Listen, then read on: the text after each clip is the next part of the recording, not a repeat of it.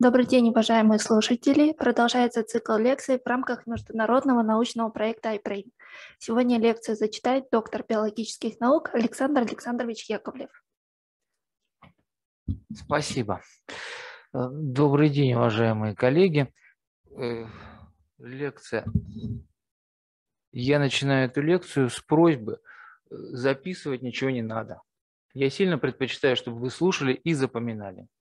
Дискуссия по окончании сильно приветствуется. Естественно, что если вам нужно записать ваши вопросы, комментарии или что-то, используйте свои блокнотики или, как сейчас принято, смартфончики. Но в целом отрываться от того, что я буду рассказывать, наверное, для записи, для записи этого не имеет смысла. Сама лекция построена как конспект лекций, к которой вы всегда сможете обратиться, чтобы вдруг что-то, если вам понадобится, оттуда достать, прояснить для себя или, скажем, использовать в дискуссии с коллегами.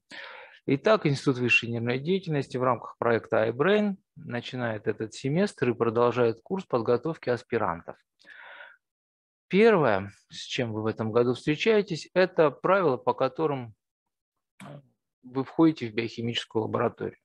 К сожалению, ситуация такова, что некоторые ребята, не до... ну то есть это объективная реальность, я не хочу никого здесь, психологи, физиологи, э, многие другие профессии, недостаточно хорошо знакомы с практиками мокрых лабораторий, там где пипетки, весы, электрофорезы и прочее.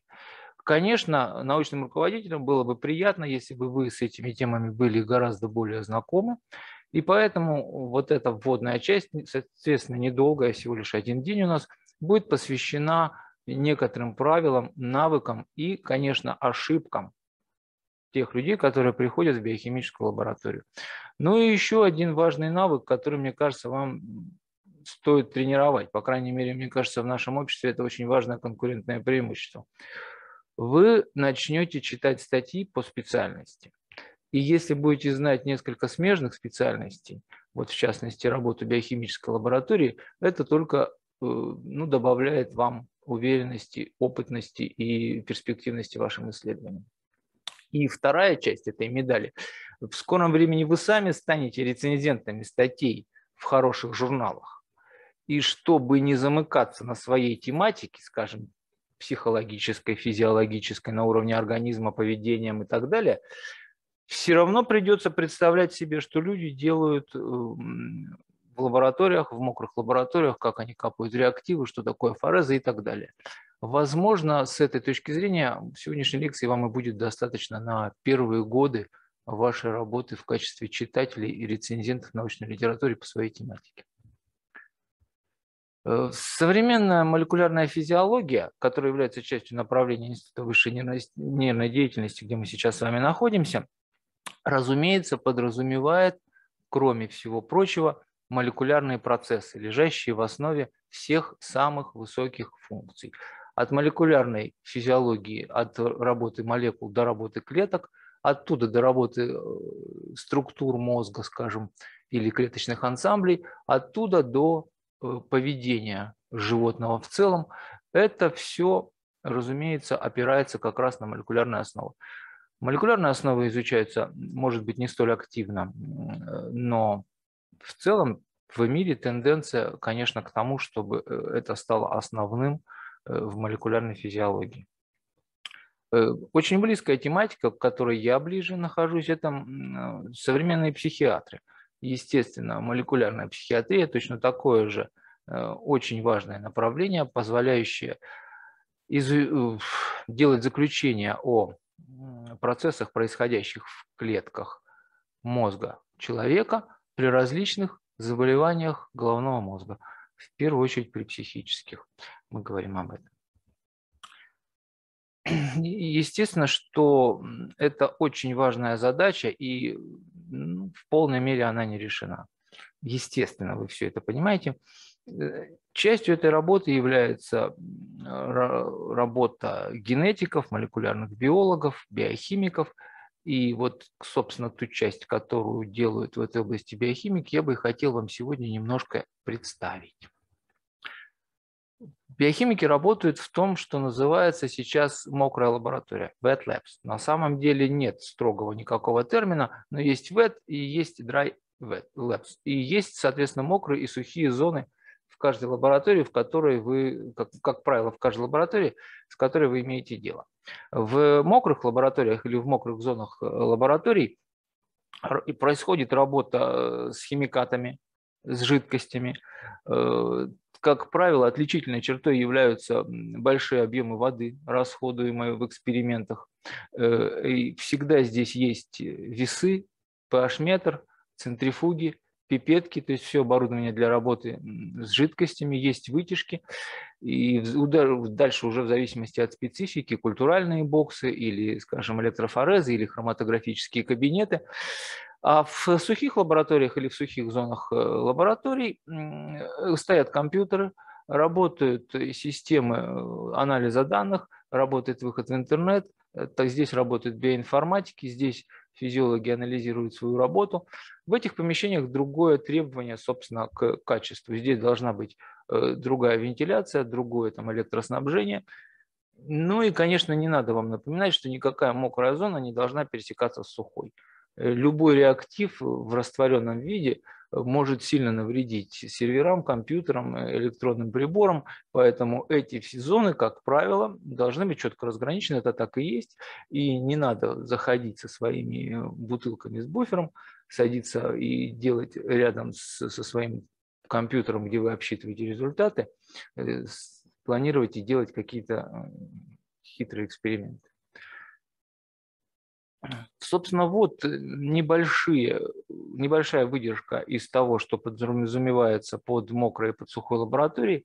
И видно, что в, в мокрой лаборатории это столы со сливами, которые можно легко очистить. Все достаточно, например, в кафеле или в линолеуме, чтобы не было проблем с очисткой. Есть горячая холодная вода, причем обычно несколько градаций качества воды в лаборатории. Э, вам предстоит отличать сходу э, вода из-под крана, вода дистиллированная, вода дионизованная, вода хроматографического качества, э, и это все и есть атрибуты мокрой лаборатории. Маски, перчатки, все специальные холодильники или, скажем, хранилища – это мокрая лаборатория. В сухой лаборатории это, соответственно, э, мощное электричество, вентиляция. Всегда чистые системы из компьютеров и соответствующие, там, не знаю, сервера, как это называется. Если стоят приборы, а ну, там не только компьютеры, там, скажем, приборы, которые мощный инструментальный анализ, скажем, МРТ или что-то такое. Э, эти правила, как правило, комнаты изолированы, изолированы от тряски и вибраций, изолированы от звука. Ну, это в зависимости уже от специальных требований. Э, ну и вот, э, на самом деле, всерьез люди занимаются тем, чтобы в лабораториях соблюдались правила проведения экспериментов. Ну, в Соединенных Штатах этим занимается специальное агентство. И вот эта выдержка из его отчета. Они ходят по лабораториям специально аккредитированным и ищут, в чем же неправильно люди проводили э, свои исследования или организовывали работу. Ну и как видите, несмотря на, казалось бы, где мы, где они, какой уровень организации и так далее, что вы можете для себя подумать, в половине практически случаев неправильно организована работа. То есть неадекватно подготовлен персонал, люди, которые заходят и начинают что-то капать, не имеют об этом представления, или наоборот, которые садятся за компьютер и так далее. Но это половина всех случаев несоответствия лаборатории высокому званию лаборатории. Э, второе по распространенности, и об этом мы будем говорить прям совсем подробно уже очень скоро, это неадекватное заполнение результатов. А, то есть это журналы, какие-то э, дневники, в зависимости от техники эксперимента. Это то, к чему обязательно предъявляет высокие требования институт, ваш научный руководитель. Э, все записи об экспериментах должны вестись в пронумерованных журналах и храниться в лаборатории. Э, ну, дальше мы видим, что не такие уж и малые в процентном отношении это проблемы с настройкой, например, оборудования, с качеством реагентов, э, с разработанными процедурами, которые, оказывается, один человек выполняет так в лаборатории, а второй так, по-другому. и даже не так мало людей просто не знают, как надо правильно обращаться с животными. Естественно, вы, как люди, может быть, молодые и новые, не все это можете понимать. Вы подходите к своему научному руководителю, спрашиваете, как это должно быть, и дальше уже никаких проблем у вас, конечно, не возникает. Э, здесь очень подробное описание того, как то же самое американское агентство относится к, к требованиям для лаборатории неклинического изучения. И, как видите, здесь э, очень четко задекларировано, что все, что происходит, должно быть записано, э, все реактивы, время их там, разведения, э, масса, которая была завешена на весах, объем буфера, который был добавлен. В отношении животных нужно написать все, чем животные питались все это время. Ну и так далее. Максимально полная документация того, что вы делаете в лаборатории. Это от вас требуется. Э, это вторая часть того же самого, той же самой склонности к записям всего, что есть. Это результаты. Как вы их докладываете своему руководству или как вы их сохраняете в своем журнале. Здесь тоже очень много требований. И, наверное, вам будет правильно посоветоваться со своим руководством, но вести журнал и правильно его заполнять – это обязательная ваша обязанность. Э, вот здесь на просторах интернетов э, очень легко найти, что люди советуют. Многие люди сталкиваются с проблемами в введениях лабораторных журналов, в введениях записей, в введениях там, отчетностей. И вот основные причины, которые часто фигурируют как проблемные, проблемная зона. Э, когда вы начинаете записывать свой эксперимент, вы обязательно в явном виде пишите цель этого эксперимента. С самого начала экспериментальный журнал начинается с того, что вы собираетесь делать. Если вы, то есть основное, то, что людям не хватает времени, и, как правило, все эти лабораторные журналы и лабораторные отчеты пишутся в последний момент. Так делать нельзя. Конечно, надо заранее готовиться к тому, что вы хотите написать, и продумать это все, и обстоятельно изложить, последовательно. Должно в изложенном материале быть представлен анализ, интерпретация результатов. Обязательно четвертый пункт – это мы стремимся показывать визуальные графики, таблицы, какие-то иллюстрации – чтобы свои результаты подкрепить какими-то картинками, это гораздо лучше воспринимается. Обязательно должны быть включены в ваши результаты, ваши суждения относительно этого того, что было получено нельзя пытаться э, несколько разных результатов перефразировать, там, скажем, перевести в несколько иной вид и представить несколько раз. Это очень затрудняет восприятие и, конечно, сбивает толку тех людей, которые будут читать ваш отчет. Ну и, естественно, здравый смысл вы должны не писать много, а писать по делу, обстоятельно. И никогда не думать о том, что вы получили неожиданный результат в результате какой-то ошибки. Нет. Этот факт должен быть э, задекларирован четко, что был получен результат, который вы не ожидали. И не надо выбрасывать какие-то полученные данные на основании того, что это не укладывается в концепцию, в теоретические построения или неожиданно для вас, вашего руководителя или еще каким-то образом. Это большая ошибка. А теперь относительно дизайна экспериментов мы, собственно, в этой же области, пока в этой же проблеме с вами сейчас находимся. Э, не на пустом месте взятая проблема. Э, высокорейтинговые журналы, в данном случае это топовые медицинские, проводят периодически осмотр, опросы своих рецензентов и задают вопрос, а какие же вы проблемы видели, там, скажем, за последние пару лет в журналах, э, в статьях, которые вам пришлось рецензировать. И те проблемы, которые вскрываются, это то, что вы должны знать заранее и их пытаться избегать. Мне кажется, это не так сложно. Проблемы делятся на две большие группы.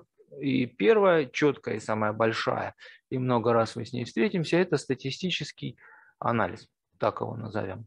Вторая – это э, нечеткое изложение и не, неполное изложение результатов. Э, статистическая проблема э, подделяет, подразделяется, можно подразделить на несколько пунктов. Первое – это неподходящий или неуместный анализ, так скажем. То есть, когда вы должны, как вы должны выбрать статистический тест, вы должны это написать. И, естественно, э, нельзя выбирать неподходящие тесты для той ситуации, с которой вы имеете дело. Это, как видите, самая первая распространенная ошибка. Естественно, что у вас будет специальный курс по статистике, от этого, этот факт от моего внимания не ускользает, но обращаю ваше внимание, что это основная ошибка, надо обязательно следить э, и обращать на это внимание в своих работах, в работах своих коллег, тесты статистически должны быть подобраны адекватно. Об этом гора литературы, никаких проблем, чтобы выбрать адекватный тест, не, не существует. Вторая проблема – это при наличии кластеризации какой-то данных э, ее пропустить. То есть, если у вас каким-то образом пациенты сгруппированы по каким-то характеристикам, а вы этого или не знаете, или не сообщаете в своей статье, это большая ошибка. Но это тоже относится к статистическим, к ошибке обработки, статистической обработки результатов. Э, третье – это то, как вы работаете с, опущенными, с пропущенными данными. То есть какие-то, обязательно, если это биохимический эксперимент, нужно описать, э, проводили ли вы тесты для того, чтобы анализировать выбросы, как вы выбрасывали точки, которые, если вдруг э, таковые были из ваших групп, если это клиническое исследование, как э, вы обходились с обсчетом выбывших пациентов по независимым причинам, проводить все статистические анализы, ну и главное объяснять для себя, для журнала, в котором вы публикуетесь, как вы с этим имели дело. Это существуют, естественно, разные методы. Это тоже предмет отдельного специального статистического разговора. Э, Четвертое, но сейчас я должен сказать, э, все более и более приобретает важность именно этот пункт. Эм, анализ мощности и э, предварительный обсчет размера образца, размера групп, которые вы взяли для исследования. Это всегда должно быть проведено предварительно. Ну, то есть это хороший тон провести такую работу предварительно перед началом эксперимента когда у вас совершенно новая поисковая работа, вот, которая из космоса на вас свалилась, этого можно не делать. Но когда есть какие-то, хоть какие-то предварительные данные по вашей теме, какие-то результаты вашей лаборатории, что-то смежное по тематикам или какие-то другие принимаемые во внимание обстоятельства, это обязательно нужно использовать для предварительного обсчета, расчета мощности и размера выборки перед тем, как начинать свой эксперимент. В нестатистических, так скажем, проблемах это очень важная проблема, для, особенно для молодого специалиста, нечеткое, неадекватное описание методик, которые были использованы э, в работе. Хорошей, хорошим правилом в данном случае будет являться то, что только на основании того, что записано в вашей статье, любой человек мог воспроизвести эксперимент. Не надо пренебрегать, выбрасывать какие-то данные, потому что вы считаете их самоочевидными. Это приводит, собственно, основная из э, причин, по которым у нас очень часто наблюдается невоспроизводимость результатов между разными группами исследователей и в целом эта проблема заслуживает отдельного названия, это кризис невоспроизводимости, она существует. И чтобы вам э, с ней не столкнуться и чтобы ваши последователи с ней не столкнулись, очень подробно описываем все, э, что вы сделали в разделе «Материалы и методы». Есть еще одна маленькая, не такая большая проблема, это когда э, в клинических исследованиях не предоставляются те данные, которые нужны для, по-хорошему для того, чтобы любой человек от последнего журналиста до рядового пенсионера мог понять, что там написано. А именно чувствительность, специфичность Чувствуете, да, перекличку со статистическим анализом? Ну, потому что это в любом случае входит. Частота истинно положительных и истинно отрицательных результатов. Это тоже должно быть изложено для ясности во всех результатах ваших статей, но если они имеют дело, скажем, с клиническими исследованиями. Ну, теперь то, что часто, какие ошибки часто делают и не только молодые сотрудники, мы подробно сейчас по всему этому списочку пройдемся. Надеюсь, что вы, конечно, все это понимаете и делать будете, ну, как, как, как правильно, как вам подсказывает здравый смысл и наша сегодняшняя лекция. Все эксперименты надо начинать, э, тоже найдено на, и скомпилировано на просторах интернета. Все эксперименты должны быть, э, начинаться с хорошо спланированного протокола. Протокол – это несколько первых страниц вашего лабораторного журнала. Все здесь должно быть очень четко записано. И то, на чем молодые люди очень часто погорают, э, это то, что думают, что протокол, который они взяли из Nature Methods, в их руках сразу же заработает с первой минуты. Нет. Это вообще редкость, чтобы опубликованный протокол без адаптации к данным конкретным лабораторным условиям заработал вообще. То есть всерьез разбираться со всеми протоколами, предшествующими данному, со всеми коветами, посмотреть и э, поговорить с бывалыми сотрудниками, что может быть, какие проблемы. Это обязательная часть. Собственно, второй, второй пункт – это и есть постараться максимально разобраться и спросить совета у тех людей, которые в этом разбираются. По моему опыту, это самый раздражающий вашего научного руководителя фактор, когда вы делаете что-то не так, а потом по разным причинам отклоняете возможность это обсудить Э, поставить э, перед э, своими коллегами, перед руководством такой вопрос, и каким-то образом это потом вдруг скрывается. Нет, каждый раз, когда у вас что-то не получается, самым правильным будет идти, обсуждать это с опытными коллегами и с вашим научным руководителем. Вот третий пункт, как постоянная тема всего рассказа, правильное документирование, э, правильное ведение вашего лабораторного журнала. Э, вся детализованная информация должна в нем присутствовать. Обязательно на стадии подготовки публикации, обязательно на стадии подготовки собственных учеников, подготовки отчетов для вашего научного руководителя и так далее. Практики проверки вашего журнала как таковой, наверное, нет, но в любой момент руководство имеет право посмотреть, как, где, что, и заглянуть в ваш лабораторный журнал. Будьте к этому готовы. А, последующие два пункта – это работа с реактивами. Это тоже достаточно важно, но для внимательного человека, наверное, не проблема. На реактивах всегда есть четкая маркировка, лот, естественно, молекулярная масса и вся информация, которая необходима для человека, чтобы проводить с этим реактивом химические, биохимические исследования, реакции и так далее. Э, невнимательные люди бывают что-то путают, бывают берут просроченные реактивы, бывают берут не тот реактив, сходный по названию и так далее. Ну, наверное, этого можно избежать. А следующее – это то, что реактивы должны, кроме того, еще и сохраняться в надлежащем виде. Э, как правило, никакую биохимию, мы не оставляем на комнатной температуре. Для того, что вышло из живой клетки, фермент, например, очень важно находиться при охлаждении.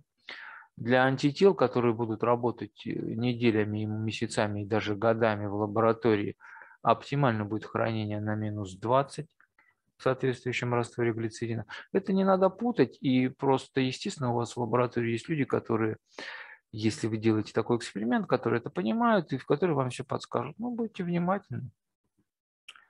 Э, то, что называется а, последовательность э, и последовательное э, следование инструкциям, это тоже обязательно. То есть, если в вашем эксперименте, вот здесь конкретный пример, используется дистиллированная дионизованная вода, вы тоже должны использовать дистиллированную ионизованную воду. Не надо искать здесь каких-то синонимов или думать, что вот люди не совсем правильно подбирали свои расходные материалы для экспериментов. Это, как правило, не так. Ну вот здесь срезание углов, то, что называется. Если в вашем протоколе написана инкубация 100 минут, я сам очень люблю писать инкубация 100 минут, то, пожалуйста, э, надо соблюдать эти 100 минут, дожидаться до конца и потом переходить к следующей стадии. Э, очень часто, конечно, 100 минут не отличается от 80 и даже от 200, э, но каждый раз это надо проговаривать, каждый раз иметь надо опыт для того, чтобы интерпретировать полученные результаты. И лучше для вас с самого начала следовать полностью букве прописанной, скажем, времени протокола, времени какой-то стадии протокола. Э, ну, естественно, когда вы только планируете эксперимент, вы должны об этом знать. То есть на первых нескольких страницах вашего лабораторного журнала не только последовательность стадий, которые вы проводите в лаборатории, но и их длительность по времени. А, то, что последний пункт, может быть, вас не обязательно коснется, но вы должны знать, что любое оборудование, которое есть в лаборатории, должно быть должно поддерживаться в правильном рабочем состоянии. И кроме того, периодически должны быть проведены процедуры калибровки. Э, неоднократно. Сколько раз некалиброванные пашметры заруинили эксперимент, это просто не сосчитать. Сколько раз неточные весы, э, сломанные пипетки и так далее, и так далее. Э, здесь от вас зависит, по крайней мере, то, чтобы визуально идентифицировать что прибор или устройство работает не так, как надо. И обратиться, в случае, если вы не можете это исправить, наверное, это зачастую так, обратиться к старшим товарищам. Ну вот э, этот же автор на просторах интернета дает нам э, без значка копирайта, то есть мы можем все пользоваться, так называемые свои императивы «никогда». Никогда никакая еда или напитки не приходят в химическую лабораторию и не стоят на столах. Она может приходить только в вашем желудке. Надеюсь, это в принципе у вас известно из любой офисной деятельности. Конечно, мы так не делаем. Э, ну вот все остальные пункты, в принципе, тоже а, не хочу подчеркивать, что вы этого не знаете. Наоборот, но просто то, что мы проговорим, наверное, как-то помогает нам всем понимать, что мы находимся на одном и том же уровне понимания, что происходит. Конечно, никогда не работаем э, без э, того, чтобы э, спросить, как правильно что-то делать под руководством своего руководителя. И когда именно в тот момент, когда он за вами наблюдает и может поправить. Никогда не оставляем эксперименты на рабочем столе, уходя в другую комнату или еще куда-то, чтобы там что-то само по себе шло. Никогда не надеваем неподходящую одежду, э, убираем волосы и прочее, чтобы это никогда не окунулось в э, химикаты какие-то стоящие на столе, не перешло из одного помещения в другое или на другой персонал, там неважно. Очень дурным тоном является выходить из химической лаборатории в халате, скажем, в перчатках или в очках, в которых вы только что переливали, скажем, кислоту, а потом браться за те предметы, которые люди берут э, в чистыми просто руками и находятся без халатов. Э, на халате, как правило, специфика вашей лаборатории, она должна остаться в стенах вашей лаборатории, никуда не ходить, не как-то по-другому выносить части этого из лаборатории не стоит ну, наверное, никто уже не пипетирует ртом, хотя еще остаются люди экстравагантные, которые желают попробовать эту технику 19 века. Нет, конечно, химические реактивы. Страшный ужас. Никак их трогать, тыкать пальчиком мне, конечно, не надо. Тем более ртом набирать. Э, все, что происходит из того, что можно назвать акцидентом, инцидентом, обязательно нужно сообщить своему наставнику. все-таки не надо думать, что это все замнется, это все ерунда. Нет, никто не будет вас ругать, никаких здесь э, личных взаимоотношений неприятных не будет, но сообщать надо. И вот мы все понимаем, надо обязательно мыть руки. Руки надо мыть не только вот здесь, э, перед выходом из лаборатории, но на самом деле просто перед э, каждой процедурой, перед каждым э, и после каждой процедуры, где вы имели дело с химическими веществами, конечно, хорошим тоном будет помыть руки. Ну, Кристина, сколько прошло времени? Ну, продолжаем. У нас часть вводная, которая могла бы касаться ваших э, ну, общих отношений к тому, что происходит, прошла. И теперь мы немножко пройдемся по тем методам, принципам и протоколам, которые как раз в реальности вы встречаете, когда заходите в мокрую биохимическую лабораторию. Э, первое, очень важное, аналитические весы. Техника, которая создала эти аналитические весы в наше время, это одна из самых передовых техник по чувствительности, по различным, э, я не знаю, э, удобствам, по тем, как это устроено, как это интерпретируется. Но, и, а, но это и значит, естественно, что аналитические весы – это очень точный прибор который, э, в общем, нужно использовать, конечно, по назначению. В вашей лаборатории будет несколько весов. Э, весы самые точные и не такие точные. Весы для животных – это все надо разделять, естественно. К самым, самым точным аналитическим весам предъявляются дополнительные требования в плане чистоты помещения, где они стоят, реактивы, с которыми вы можете работать с этими весами. Ну, естественное ограничение по массе, там нельзя взвешивать сотни грамм.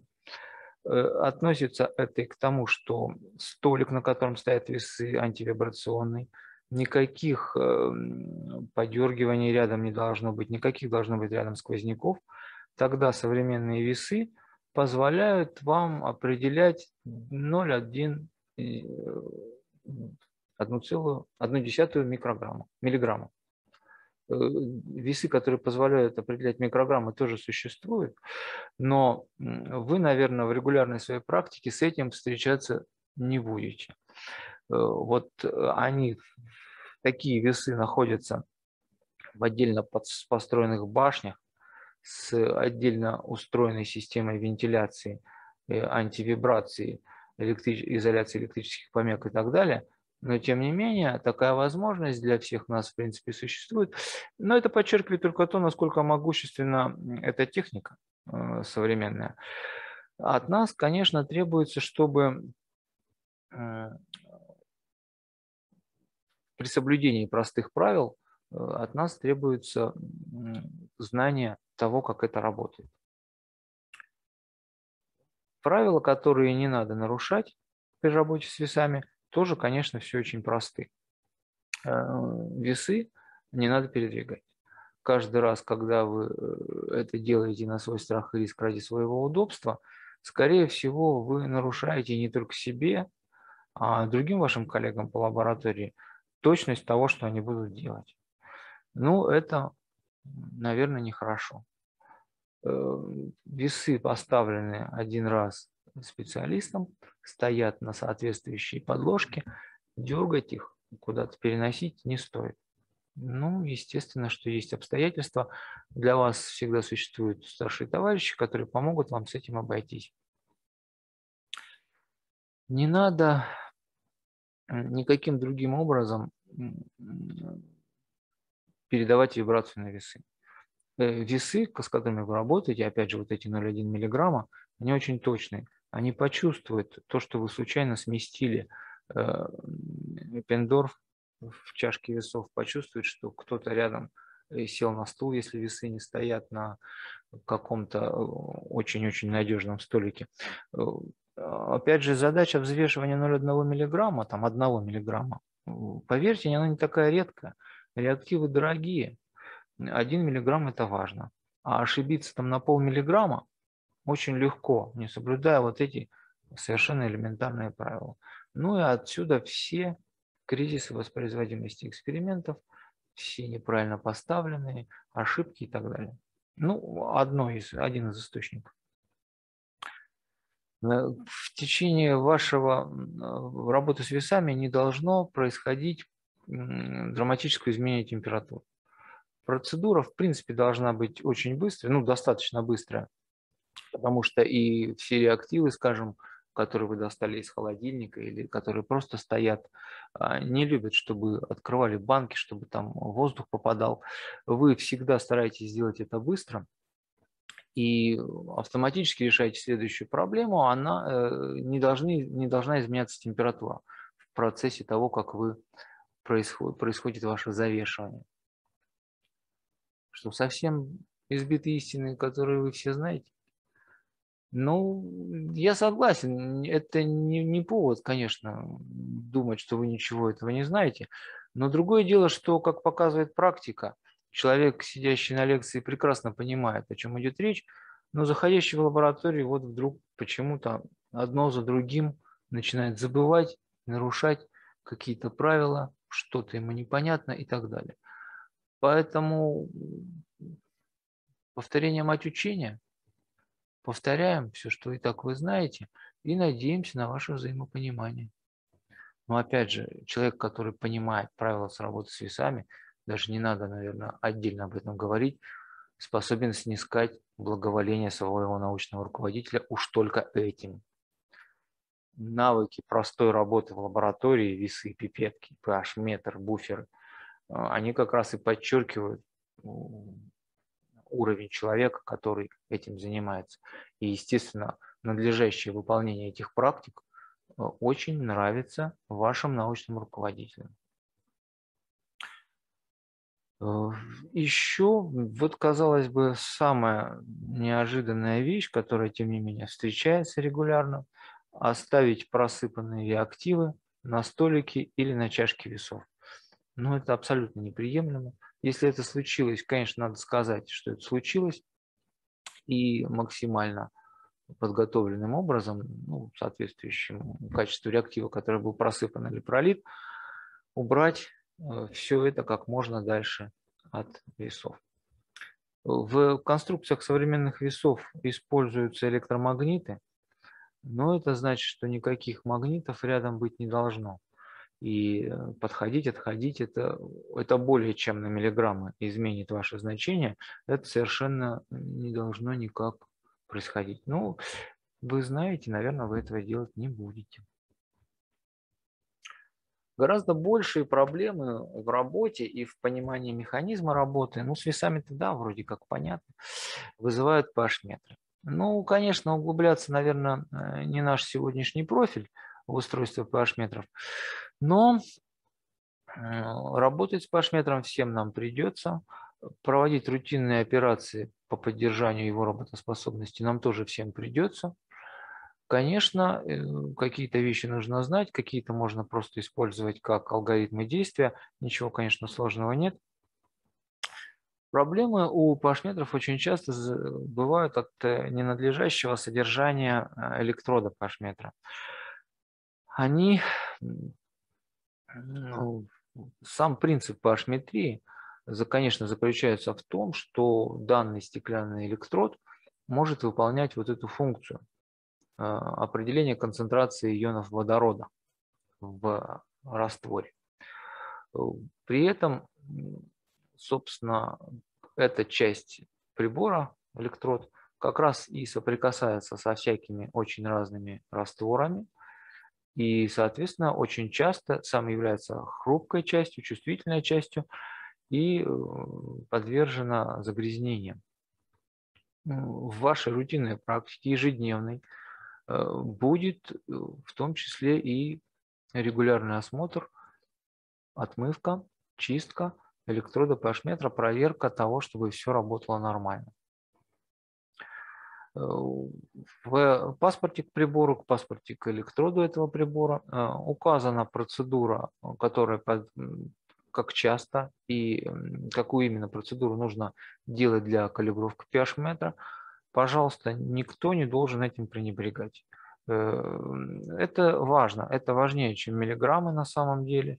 То есть получить погрешность можно даже в единице pH, а это, ну, соответственно, порядки концентрации ионов водорода, что не может не влиять на, ну, вообще на любую химическую реакцию, почти на любую химическую реакцию, которую вы проводите в пробирке, практически на любой тест, на любой анализ, на любой раствор, это обязательно повлияет.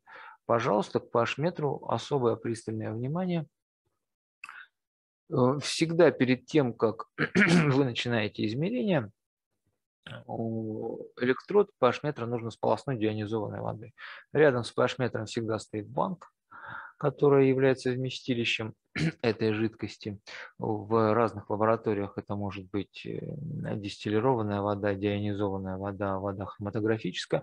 В зависимости от того, каких растворах вы определяете pH и куда они потом пойдут. То есть э, уместно совершенно в воду хроматографического качества иметь рядом с pH-метром, на котором вы готовите буферы для хроматографии, например. Опять же, тот факт, что вы каждый раз перед определением pH, э, значения pH в вашем растворе промываете дионизованной водой, ни в коем случае не означает, что электроды можно хранить или долгое время держать в деионизованной воде. Это везде, во всех паспортах приборов написано, но мы еще раз с вами сверяем в компас. Это действительно так. Никогда раствор, который должен быть, в который должен быть опущен электрод, имплицитно и эксплицитно прописан производителем. Это никогда не деионизованная вода, как правило, это буферный раствор PH4 или это, например, да, скажем, трехмолярный раствор хлорида калия или э, раствор хлорида калия, насыщенный ионами серебра. Что-нибудь такое. Очень экзотическое с точки зрения вашей рутинной практики, но никогда не дионизованная вода.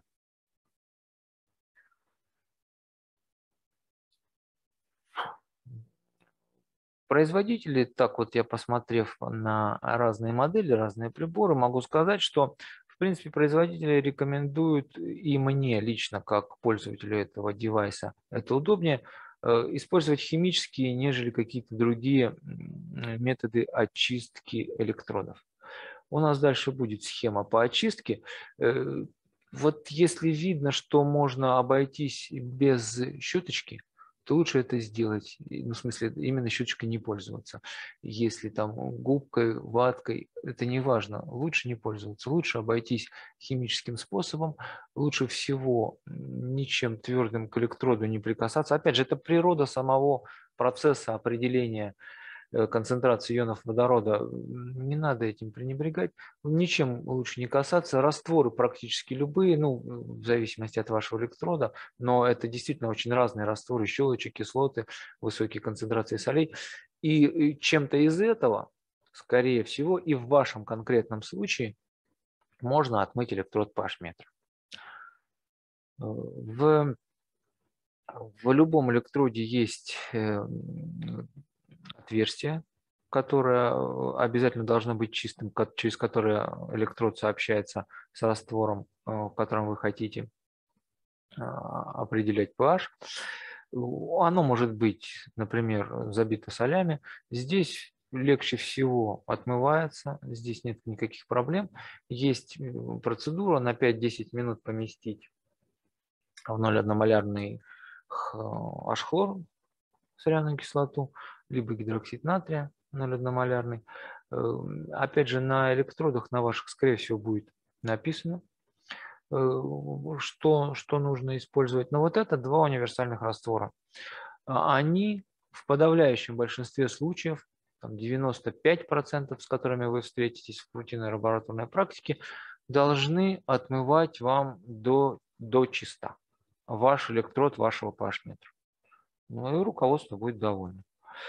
Опять же, еще некоторые люди рекомендуют некоторое нагревание до 50 градусов. Но это тоже химический, фактически, да, такой активный химический способ очистки электрода вашего pH-метра. А что нужно, что не нужно делать э, с электродом? Еще раз, электрод Пашметра важная, чувствительная штука. Несмотря на то, что он такой недорогой, это не значит, что от него зависит меньше, чем от вашего дорогущего осциллографа. От пашметра зависит очень многое. Неоднократно, повторяю, второй раз за 30 минут, эксперименты были заруинены из-за того, что экспериментатор не досужился проверить значение pH. Но естественно, что это будете не вы, потому что вы будете соблюдать все эти простые, в общем, никому не, не, не обременительные правила. Э, электрод пашметра никогда не должен оставаться сухой. Это приводит и к накоплению солей в отверстии, через которое электрод пашметра сообщается с внешним миром, и отложению солей с внутренней стороны, э, ну, внутри этого прибора электрода. Я даже затрудняюсь сказать, как это все химически, физически происходит, но э, электроды, которые долго полежали в сухом месте, ну, не погруженными в жидкость. Ну, что мы считаем долго, да? Все, что вам нужно сделать, это перетащить электрод из одного буфера в другой, чтобы измерить pH, да? Сколько-то секунд, что вам нужно. Естественно, электрод переживает сухости. Не надо здесь драматизировать. Но оставить его на хранение на несколько часов, а тем более дней и так далее, без соответствующего омывающего раствора нельзя, электрод будет сломан. Э, опять же, умельцы и энтузиасты э, могут утверждать, и у многих это получается, что они э, воскрешают погибшие, высохшие электроды. Ну, это правда, но, опять же, это не наша с вами судьба. Мы просто никогда не оставляем электроды в сухом виде, всегда ставим в буферные растворы, не переживаем при этом, что в процессе измерения нам пришлось несколько раз переносить из одного буфера в другой, за это время с электродом ничего плохого не случится. А вот здесь в явном виде прописано а, буфер PH4 как буфер для хранения электродов, но опять же на своей практике я встречался, это очень распространенное решение буфер PH4, розового цвета по стандартам. Но э, это не единственное. Есть хлорид калия, есть еще какие-то вещи. То есть э, вы просто проконсультируетесь э, с паспортом электрода, в котором отчетливо будет написано, конечно, какой буфер использовать и какой нежелательно использовать для того, чтобы хранить в нем электрод. Эмпирическое правило хорошего электрода, он выставляется и выходит на плата за 60 секунд. По своей, по своей практике могу сказать, что 60 это много, конечно. Хороший электрод э, выйдет у вас за 15 секунд на стационарное положение, на стационарное значение pH в буфере. Но здесь, естественно, не стоит обманываться. Если у вас в растворе идет какая-то химическая реакция, или происходит нагревание, скажем, раствора, или растворение соли, которую не до конца вы растворили, то pH будет меняться и часами. Естественно, что если э, эти все параметры соблюдены и постоянны, то электрод выходит на плата, на постоянное значение показателей э, очень быстро. А вот если он выходит дольше 60 секунд, это уже для вас сигнальчик о том, что что-то пошло не так, и надо бы сейчас нам этот электродик помыть, откалибровать, э, проконсультироваться с э, кем-то, кто это делал, попытаться выяснить, какие предыдущие растворы были на этом электроде измерены, действовать от этого в выборе схемы промывки и очистки электрода. Ну, в общем, для нас это э, сигнал о том, что электрод грязный, и с этим надо что-то делать. Когда вы собираетесь калибровать, естественно, у вас есть какой-то набор буферов для калибровки, и э, очень важно, чтобы все эти буферы были свежими, неиспользованными. Если это покупной в банке, то на нем не должно быть, э, то есть срок годности не должен быть истекшим. И Вообще, в принципе, это не рекомендуется производителями э, снова использовать буферы для калибровки, если вы в них уже калибровали. А, опять же, что вы можете сделать? Вы можете, например, э, уже использованными буферами промывать буферами промывать просто ваш электрод при последующих калибровках. Но, пожалуйста, озаботьтесь, те, у кого с этим будет связана существенная часть экспериментальной практики, должны понимать э, какие-то э, буферные растворы, какие они должны быть, какие калибровки им надо ставить. Естественно, это имеется в виду, какие значения pH будут в ваших экспериментах. Естественно, что там и должны быть, как минимум там, должны быть ваши буферы для калибровки. Ну, вот эм, это очень часто ускользающий от внимания а, младшего научного персонала вопрос, который, я надеюсь, все-таки у вас будет поставлен четко. PH-метры э, надо калибровать. Калибровать надо достаточно часто. Это производитель, опять же, пишет разные электроды, электроды гелевые, электроды жидкие, электроды твердые. Это действительно большое разнообразие.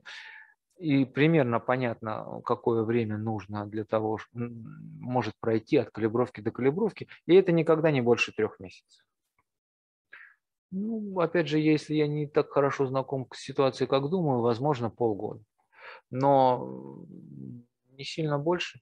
Большинство электродов, с которыми вам придется иметь дело, и которые а, решают свои задачи в нашей рутинной экспериментальной практике, требуют вот такой более-менее ежемесячной регулярной калибровки.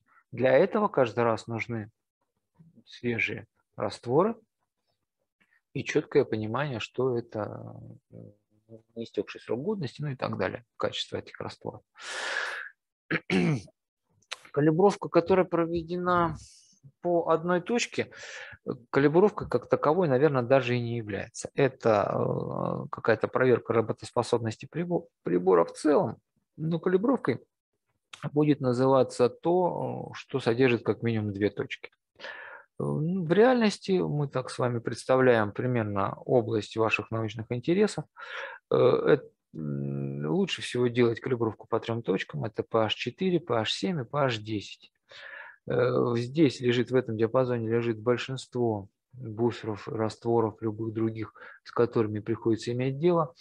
Если растворы э, вне этого диапазона, то, как правило, можно ограничиться более грубым, скажем, методом капнуть на бумажку, посмотреть цвет с точностью там до нескольких десятых pH.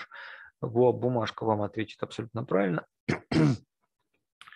Э, опять же, если вы делаете кислые и щелочные буферы, вы должны помнить о том, что на них влияние условий окружающей среды э, сказывается больше, чем на буферах нейтральных. Это, в принципе, свойство устройства этого мира, свойство устройства воды как таковой. При щелочных pH э, в воде начинает растворяться летающий углекислый газ, Э, при любом смещении сильном от своей, ну, от, от PH7, э, начинают ионизоваться различные растворенные там вами, даже не учтенные вами при растворении вещества, это все более значимо выражается в экстремальных диапазонах pH, больше 10, меньше 4. Но это, среди прочего, и означает, что если ваша работа Э, в силу особенностей связано с этими диапазонами pH, у вас на эти диапазоны обязательно должен быть свой калибратор, которым вы также регулярно, как pH 7 или 4, пользуетесь при калибровке вашего pH-метра. Если, опять же, электроды немножко разные, но последовательность, в которой вы ставите э, буферы, она тоже играет значение, имеет место ну, разный подход, и это тоже должно быть прописано в паспорте вашего электрода. Сначала ставим PH10, потом PH7, потом PH4, но это из головы я беру, то есть э, это все должно быть четко понятно и известно.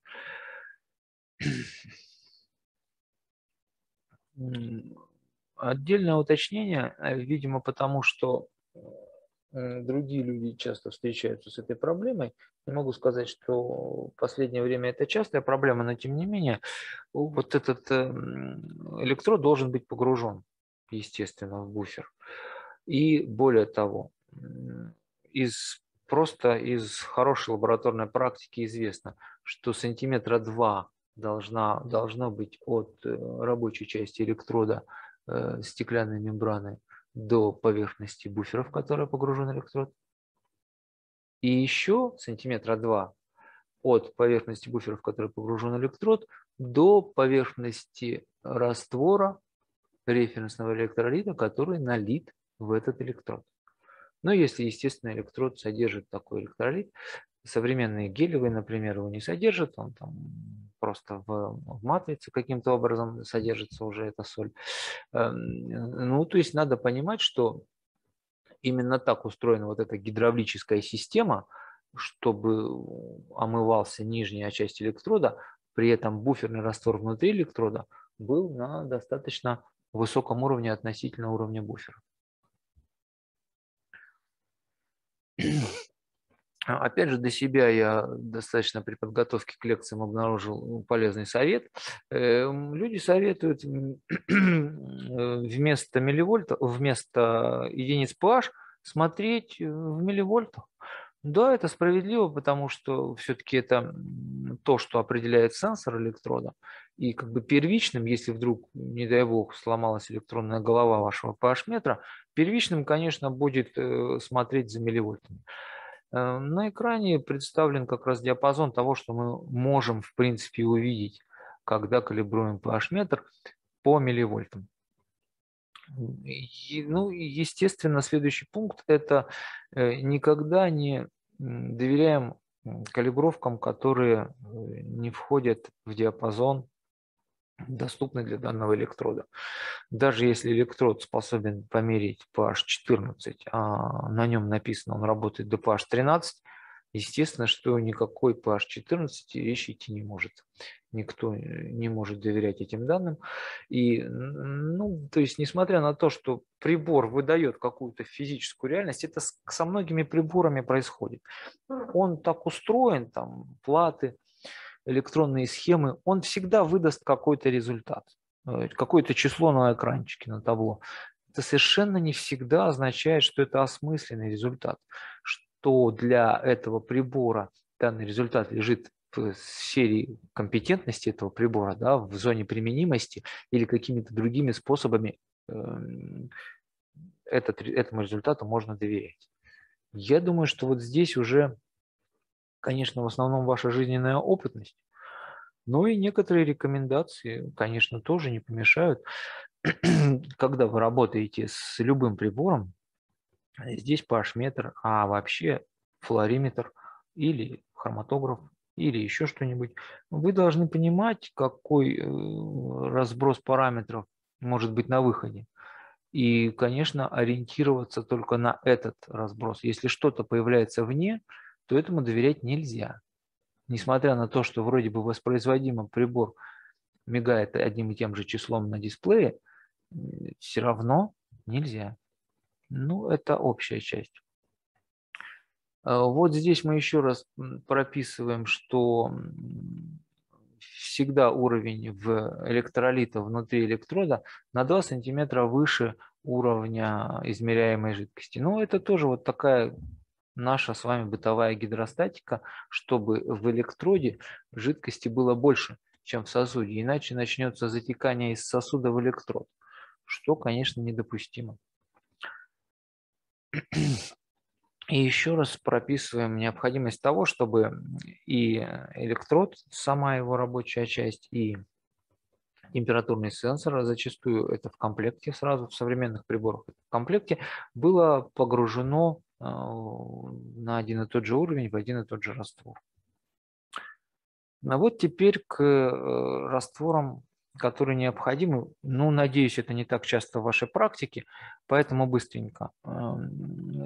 Большинство случаев, опять же, это 0,1% гидроксид натрия, 0,1, о, 0,1-малярный, простите, или 0,1-малярный, э, малярная солярная, соляная кислота, вот в подавляющем большинстве случаев справляются с задачей. То есть электрод стал медленно отвечать на 10 минут в 0,1-малярный H-хлор, потом промыли буфером по H4, тоже 10 минут, потом определяем наши буферы, и вот все возвращается, это чисто экспериментально, как бы вот в основном так. Но, конечно, я понимаю, что бывают более сложные системы, растворы, ну, и тогда может потребоваться больше извращенности для очистки этих электродов. В частности, вот по четырем пунктам. Общий раствор для очистки – это детергент. А, Причем достаточно жестокий детергент, что может привести к тому, чтобы э, электрод загрязнился чем-то таким, что только детергентом отмывается. Ну, наверное, липиды, масла, сало pH сала, если кто-то пробовал определить, наверное, проблема для тех, кто после него это будет э, делать с этим электродом. И отмывается это детергент. Э, вот этот основной, э, основные растворы хлорида, гидроксида натрия и соляной кислоты, они же применяются для, просто если мы видим визуальное отложение солей. Как правило, как раз это и есть основная причина какого-то отклонения от хорошей работы прибора. И вот она очень легко лечится вот этим 0,1-малярным ашхолом. Как наши буферы, как раз все, а, все физиологические, а, примерно 150 миллимоль соли, и ну, рано или поздно отложения этой соли будут в виде следов белесов на вашем электроде. Э, каким-то образом вы по-другому поймете, что соль вам все испортила. Ну, тогда вот 0,1-малярный ашхлор, 10 минут, 10 минут в буфере PH4 и дальше все нормально. Э, в принципе, существуют системы, в которых необходимо, после которых необходимо отмывать электрод метанолом, э, но вполне тоже все процедуры здесь недолгие по времени, то есть это 10-15 минут, больше, ну, то есть, скорее всего, не понадобится, но не протирать, да, без механики обходиться, а именно в буфере погрузить, вращать, э, если можно, ну, то есть перемешивать в это время буфер, и желательно, но без механического воздействия. Э, если бывает, что забилось э, отверстие в электроде. Ну, не знаю, насколько часто это встречается, но тогда мы можем просто раствор хлорида, натрия, хлорида калия нагреть и, э, в общем, то же самое отмывается. То есть это, это несложная для наших э, обычных случаев, несложная ситуация. Все это легко можно отмыть. Э, надо сказать, что, кстати говоря, вот специфичность электродов такова, что они могут, ну вот водород, да, и немножко близкий к нему по свойствам натрий. И иногда, как это, конечно, относится к более старым моделям, некоторая чувствительность электрода, который pH электрод, к ионам натрия. То есть э, мы добавили натрия, а не протонов, да? При этом pH, ну, знатоки-то знают, понизился. Да? Э, в общем, не надо путать. И здесь, э, в общем, в явном виде написано, что берется гидроксид натрия – Наверное, гидроксид калия не хуже. То же самое про хлорид. Хлорид калия, вот это то, чем мы отмываем. Очень редкое в наших, по нашему времени приложение, когда вы определяли pH в каком-то концентрированном растворе белка. Ну, на самом деле, наверное, я просто плохо представляю реальности. Наверное, такое бывает. Э, все об этом пишут и говорят что бывает, в смысле, и отмывка, ну, отмывка, к счастью, простая, это один, однопроцентный пепсин. Вот пепсин, э, как уникальный фермент, мы все его хорошо знаем, работает как раз в 0,1-малярной соляной кислоте, и его 5 минут достаточно, чтобы все, что есть на поверхности электрода, белковой природы, конечно, расщепить, потом вы отмываете 10 минут буфером PH4, потом электрод готов дальнейшей работе. Ну, вот следующее, прямо безотрывно воспринимаемое с pH-метрами, это пипетки. Это действительно проблемная зона для аспирантов, студентов, молодых сотрудников. Вот эти два устройства, ни pH-метр, ни пипетки, не дают как-то спокойно работать людям. Наверное, что-то в устройстве их не продумано. Очень часто встречается проблема, что у человека с пипетками что-то пошло не так. Ну, разные, конечно, ситуации, все это понятно, но в целом э, современная пипетка – это, конечно, устройство, которое служит в лаборатории много лет. Это никакая не одноразовая вещь, с ней надо аккуратно, бережно, ну, как, в общем-то, с приборами обращаться. Это прибор, вот из этого, может быть, и надо исходить, строить свое отношение к нему. Э, во время своей работы просто по долгу службы пипетка, конечно, подвергается парам жидкостей, каким-то соприкосновением с чем-то ну, неблагоприятным. И, естественно, от этого происходит э, и может происходить, и зачастую происходит какое-то ухудшение качества пипетки. Ну, можно об этом знать, то, что называется предупрежден, значит вооружен, не пипетировать никакие растворы, которые пипетку могут повредить. Ну что мы про эти растворы можем сказать? Например, растворы летучие, да, где много органики. Растворы крепкосоленые, растворы крепкощелочные, сильно кислые, все экстремумы, вот они очень плохо действуют на пипетку. Принципе, ну, в правилах пользования пипетки, опять же, вы можете проконсультироваться с паспортом этого изделия, написано, что и как можно. И вот проблема с пипетками зачастую с тем, что люди не знают, какие реактивы, как они, и причем небрежно пипетировали, дозировали пипеткой. Ну, а от этого потом пошли проблемы. Сколько от пипеток загрязненных пошло контаминации и сколько потом было часов потрачено, это тоже, конечно, отдельная песня. Это очень важный момент, особенно когда в лаборатории люди приходят и не постоянно, а так время от времени пользуются пипетками, нету каких-то, э, нет ограничений, что вот эта пипетка для одного дела, вот это для другого, нет ограничений по людям, которые используют это или это. И вот на такой на фоне этой бесхозяйственности процветает разгильдяйство, и очень часто пипетки выходят из строя. Ну, это ладно бы вышла из строя. Пипетка при этом заруинила еще какой-нибудь эксперимент вам или вашему товарищу, или вашему старшему товарищу, который потом расстроится сильно. Конечно, вы должны следить. Что мы делаем с пипетками? Внешне пипетки э, нужно, э, в общем-то, протирать до чистоты после того, как вы ими поработали. И э, хорошими растворами для этой очистки промывки являются 70% этанол или 60% изопропанол. В зависимости от специфики лаборатории, это может быть, скажем, 0,1% детергент СДС дегацилсульфат натрия. Ну, вот это уже специальные случаи какие-то. В целом, просто разбавленный спирт для того, чтобы вот после вы поработали и остались какие-то следы снаружи пипетки. 70% спирт поможет вам эти следы удалить, и, скорее всего, дальше будет без каких-либо проблем функционировать ваш девайс. Бывает, что в современном многообразии аспиранту сложно сориентироваться, какой же наконечник подходит к данной конкретной пипетке.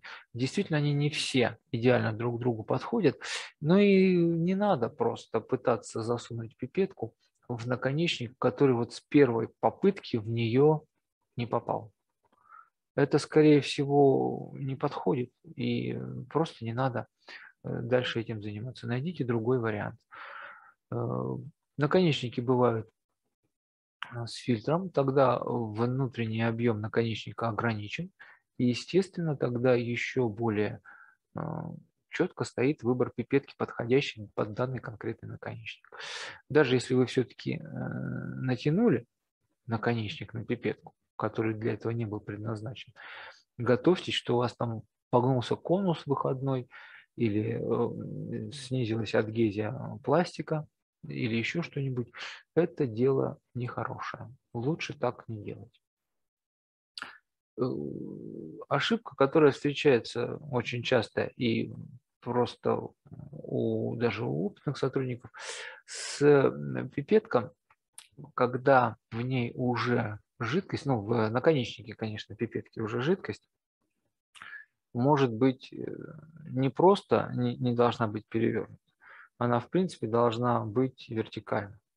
Отклонение от вертикали, ну, мы дальше там это будет более подробно, 30-45 градусов.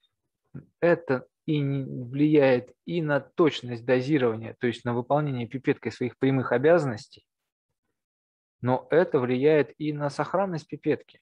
Если вы наклоняете больше, жидкость из наконечника э, может залиться в структуру пипетки и необратимо повредить оную.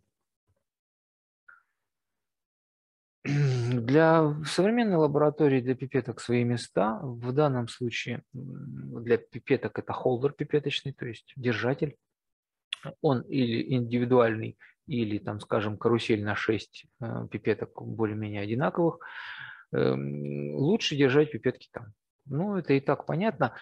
Это в таком виде производитель их э, хранит, в таком виде они калибруются, и в таком виде потом выдают правильный результат. Если вы их как-то по-другому хранили, никто уже не отвечает за точность выполняемых вами работ, что, конечно, печально.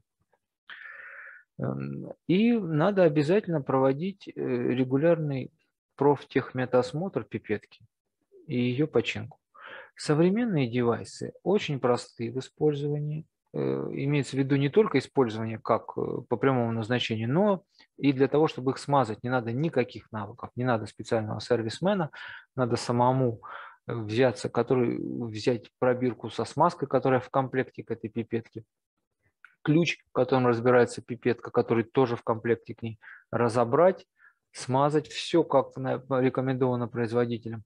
Там всегда только одно слабое место, это вот O-ring, так называемый, то есть колечко в виде буквы О, ну, колечко резиновое, которое надето на поршни и где-то там рядом э, для создания вакуума и, э, ну, не вакуума, а разрежения и гладкого хода нанесена смазка. И все, дальше остальные части только механические. Естественно, что после того, как вы разобрали пипеточку, ну, а почему вы вдруг решили ее разобрать, да? Э, ну, стала врать или, или стала оттуда что-то капать не то. То есть, ну, явная причина, да, сразу же надо разбирать, если механическая какая-то грязь, ну, там пластик достаточно прочный в современных пипетках, значит, чем-то типа ёршика почистили и помыли химически. И здесь, да, 70% спирт или 60% э, пропанол, изопропанол Э, вот звучат очень хорошо в этой ситуации. Э, протерли насухо системами, вот то, что называется безворсовые салфетки, да, вот что-то такое. Но это тоже распространенная очень вещь. Не надо туда ватой, конечно, салфетками обычными, потому что останутся ворсинки, которые потом просто частью целлюлозы в них содержащая станет частью ваших растворов потенциально в будущем. Этого тоже, наверное, делать не надо. И вот, собственно, дальше смазка – смазка а, поршня и замена, если износилась кольца, которая создает вот всю, собственно, сложность работы пипетки, всю механику. Это под силу каждому, и никто не должен этим пренебрегать. Но гораздо чаще, конечно, вы должны делать калибровку пипетки. Это даже не раз в три месяца и не раз в месяц. Это вот каждый раз, когда есть свободная минутка, раз в неделю, скажем, пипеточку надо откалибровать. Ну, если вы сильно уверены в том, что работаете хорошо и многие годы вам она служит хорошо, ну, тогда действительно раз в несколько месяцев. Но это вот, э, обязательная вещь, которой, к несчастью, многие пренебрегают. Калибровка, э, кстати, под калибровку пипеток есть стандарт ISO, то есть на самом деле вполне себе серьезные люди подумали, как это делать, там и с математической точки зрения, как это надо сделать. Нужно как минимум серию из 10 измерений для трех объемов. Первый объем для пипетки это всегда, один из этих трех это всегда номинальный объем, то есть для кубовой пипетки куб, для 200 микролитровой 200, для 5-кубовой 5 и так далее. А второй объем это всегда 10% от номинального. Для 5-кубовой полкуба, для кубовой 100, Ну, соответственно, если позволяет, собственно, эта пипетка. Бывают фиксированные, бывают не работающие в таком широком диапазоне. Но вот для этих двух как минимум попытайтесь сделать. И третий объем где-то посередине. Для каждого из них 10 измерений. Дальше посчитали ошибочку, сколько получилось, и сверились со спецификацией производителя. Должно удовлетворять. Ошибки в современных пипетках маленькие, конечно, это меньше процента, и в большинстве наших экспериментов это никак не сказывается на результатах. Я думаю, что ну, сложно да, представить, чтобы так сильно сказалось. Но вот есть неприятное, объемы тем, нет, эм, тем хуже измеряются, чем они меньше. То есть это вот в наших реальных случаях, в наших пипетках, пипетки 10 микролитров и меньше дают, конечно, ошибку больше. Ну, опять же, вы можете подобрать для своего случая какую-то там серию разведений или еще что-то, каким образом обойтись без таких маленьких объемов. Ну, например, очень часто нужно антитела добавлять в микролитровых количествах к своим растворам каким-то. Вам без микролитровой пипетки не обойтись. Но помните, что она самая неточная, и с ней ее калибровку как раз и ее верификацию там какую-то надо проводить чаще, чем с какими-то с остальными вашими пипетками. Э, что, если вдруг случайно обнаружилась ошибка в пипетире? Ну, то есть дозируемый объем не совпадает с тем, что у вас накручено. Ну, протекает э, поршень или наконечник. Э, вы это все увидите. Если, конечно, пипетка побывала в какой-то экстремальной среде, и у нее, собственно, конус, на который надевается наконечник, подразрушен, это видно визуально. И, конечно, эта пипетка уже не подлежит восстановлению. А, и бывает, что этого не видно визуально, тогда дело в пистоне, который внутри, вот в этом поршне, который давит, пипеточку надо разобрать, остатки старой смазки удалить, нанести новую. При необходимости заменить э, О-образное кольцо. Э, плохое, плохое прилегание наконечника – это как раз есть, наверное, следствие ну, не, не совсем правильной организации, то есть неправильные наконечники используются для пипетки. Э, ну, бывает, к сожалению, такое, поэтому тоже, если вы увидели, что с трудом пипетка попадает в этот наконечник, но вы меняете или наконечник, или пипетку. И, ну, иначе вы испортите, скорее всего, и пипетку, и ваш эксперимент. Обязательно, когда вы завершаете операцию дозирования, назовем это так, вы э, на стенку сосуда, в который вы переносите жидкость, обязательно а, выдавливаете остатки того, что есть в наконечнике. И, ну, иначе следующее, последующее пипетирование может, э, ну, собственно, ошибаться вот на эту величину. Если вы э, пипетируете, ну, скажем, по долгу службы в разных помещениях, в разной температуре, да, в разной влажности, это объективный, э, объективный источник ошибки для пипетки. Здесь не стоит ничего искать, надо избегать таких ситуаций, когда, ну, это общее, наверное, то, что вы понимаете. Не надо пипетировать горячие и очень холодные жидкости, нельзя пипетировать очень вязкие жидкости, нельзя работать в условиях повышенной влажности, повышенной температуры. Это в первую очередь плохо, собственно, для вашего эксперимента. Тогда пипетка вот эта, волюметрические и любые другие приборы, устройства, девайсы работают не точно. Ну, в смысле, на них надо, на влажность, на температуру, на все нужно делать свои поправки. И если вы этого не делаете, вы, ну, вы ошибаетесь. И это может быть ну, для каких-то, наверное, приложений важно. Чтобы этого не делать, конечно, работаем в сухих проветриваемых помещениях при температуре около 20, тогда пипетки э, долго и воспроизводимо служат. Все производители говорят о том, что цикл пипетирования должен состоять из одинаковых по времени частей. Но это значит просто в нашем бытовом понимании рука у человека должна быть набита. Э, с набитой рукой у вас никаких проблем в воспроизводимом пипетировании не будет. Просто некоторое время, видимо, уйдет на то, чтобы эту руку обучить. На этом этапе как раз более важна для вас калибровка пипеток, правильное держание пипеток, правильные наконечники, ну и так далее. И, собственно, скорость, с которой вы пипетируете, очень быстрая или очень медленная, это, конечно, источник ошибки в пипетируемых и в дозируемых объемах. Здесь четко просто в виде таблички собрано то, что мы с вами уже проговорили. Опять же, у нас, если пипетка протекает, ну вот вы набрали, да, в наконечник, а он не держит, а капает, то вот э, причины это, конечно, неправильно подобранный наконечник, первая вроде как причина.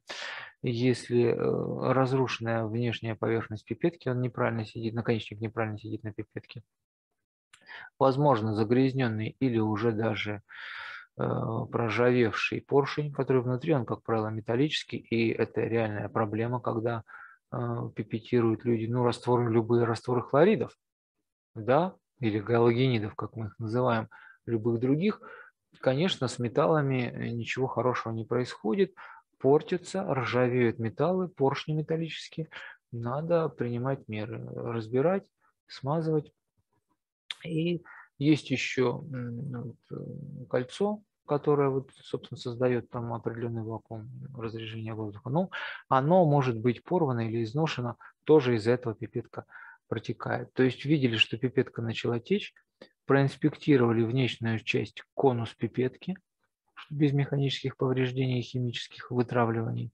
Следующим этапом проверили, те ли мы взяли наконечники. Потом ничего не остается, разбираем и смазываем пипетку. Э, неожиданный случай, но тоже бывает, когда пипетка не набирает. И, ну, не сливает, не набирает. Это означает, что просто внутрь наконечника, внутрь конуса пипетки попал какой-то материал, высох там и забил просто вот этот канал.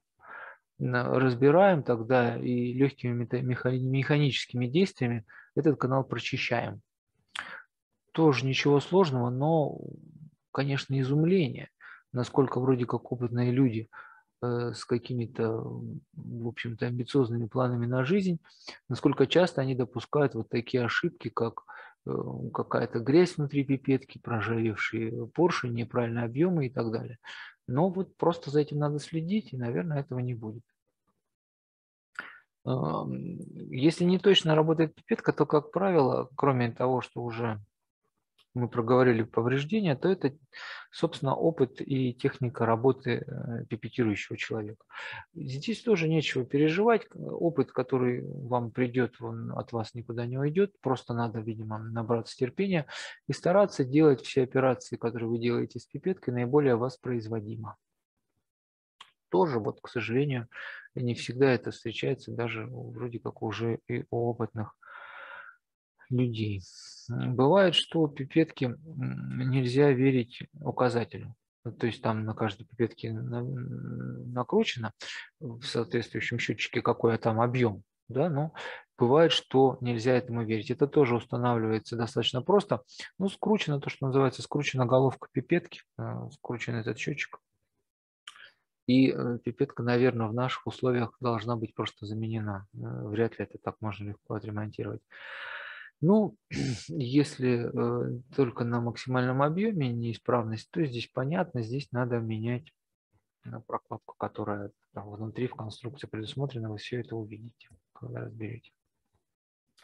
А вот, собственно, выдержка из стандарта ISO, Института по стандар... Э, организации по стандартизации измерений, как нужно работать с пипеткой.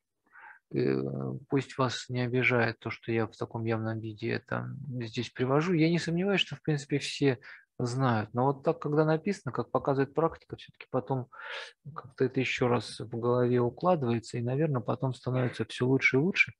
Результаты лучше, статьи престижнее, грантов больше, студентов больше. Вообще жизнь удалась. Держим пипетку всегда вертикально, когда отбираем.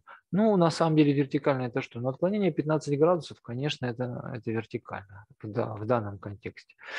Наконечник всегда должен быть под 2-3 мм под поверхностью э, жидкости. Э, и чем он глубже или чем он меньше, то это ошибка.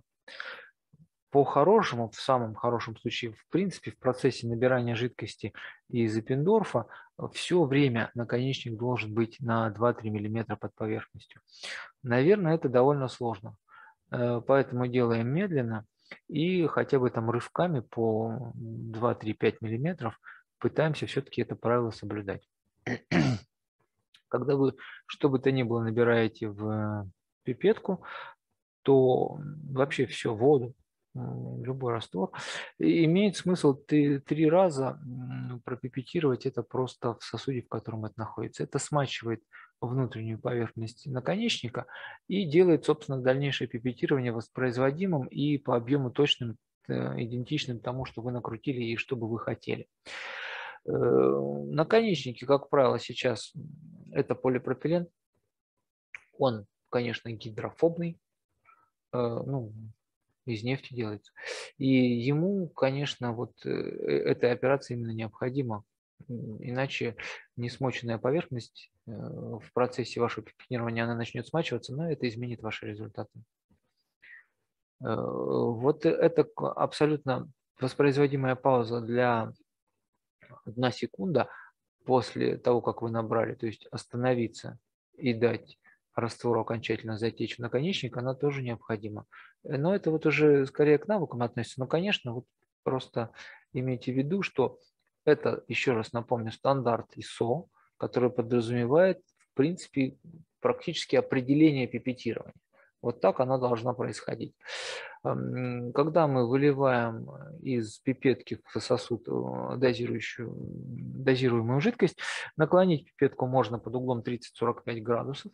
Обязательно нужно на стеночку сосуда, прикоснуться наконечником и э, в процессе додавливания остатков э, двигать пипетку наверх в течение там, ну, здесь 10-15 миллиметров, это не всегда возможно, там, скажем, в эппендорфах, да, но вот как, какое-то ну, флажку мы дозируем, там всего 8 миллиметров э, глубина, всегда стараемся оставить последнюю капельку на стеночке внутри сосуда легким движением вовне.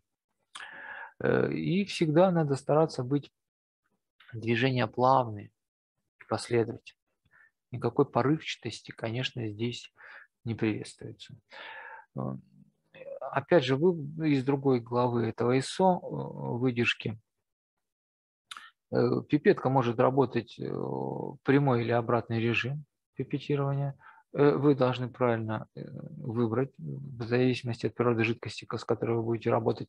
Но кроме того, и откалибровать пипетку по той процедуре, про которую мы уже говорили – нужно именно в том режиме, в котором вы будете работать. Э, ну, конечно, обратное пипетирование – это пипетирование для вязких жидкостей. Здесь никакой сложности, если у вас в практике предстоят э, полиэтиленгликоли, глицерины, полиэтиленамины, дикстраны и так далее, вы работаете с э, обратным пипетированием, и, наверное, у вас тоже никаких проблем нет. Но, естественно, откалибровались вы тоже в обратном пипетировании.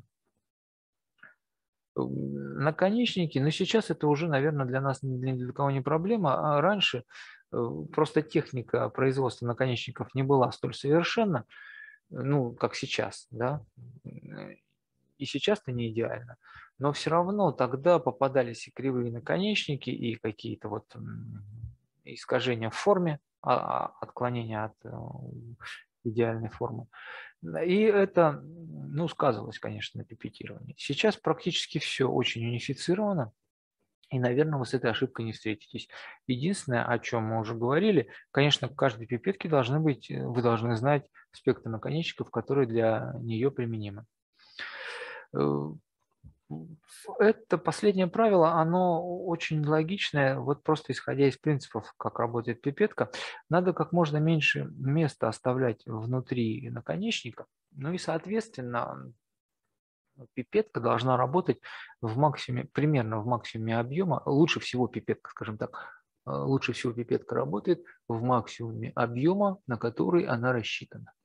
Кубовая лучше всего работает на куб, пятикубовая на 5, а 200 микролитровая? Кто скажет?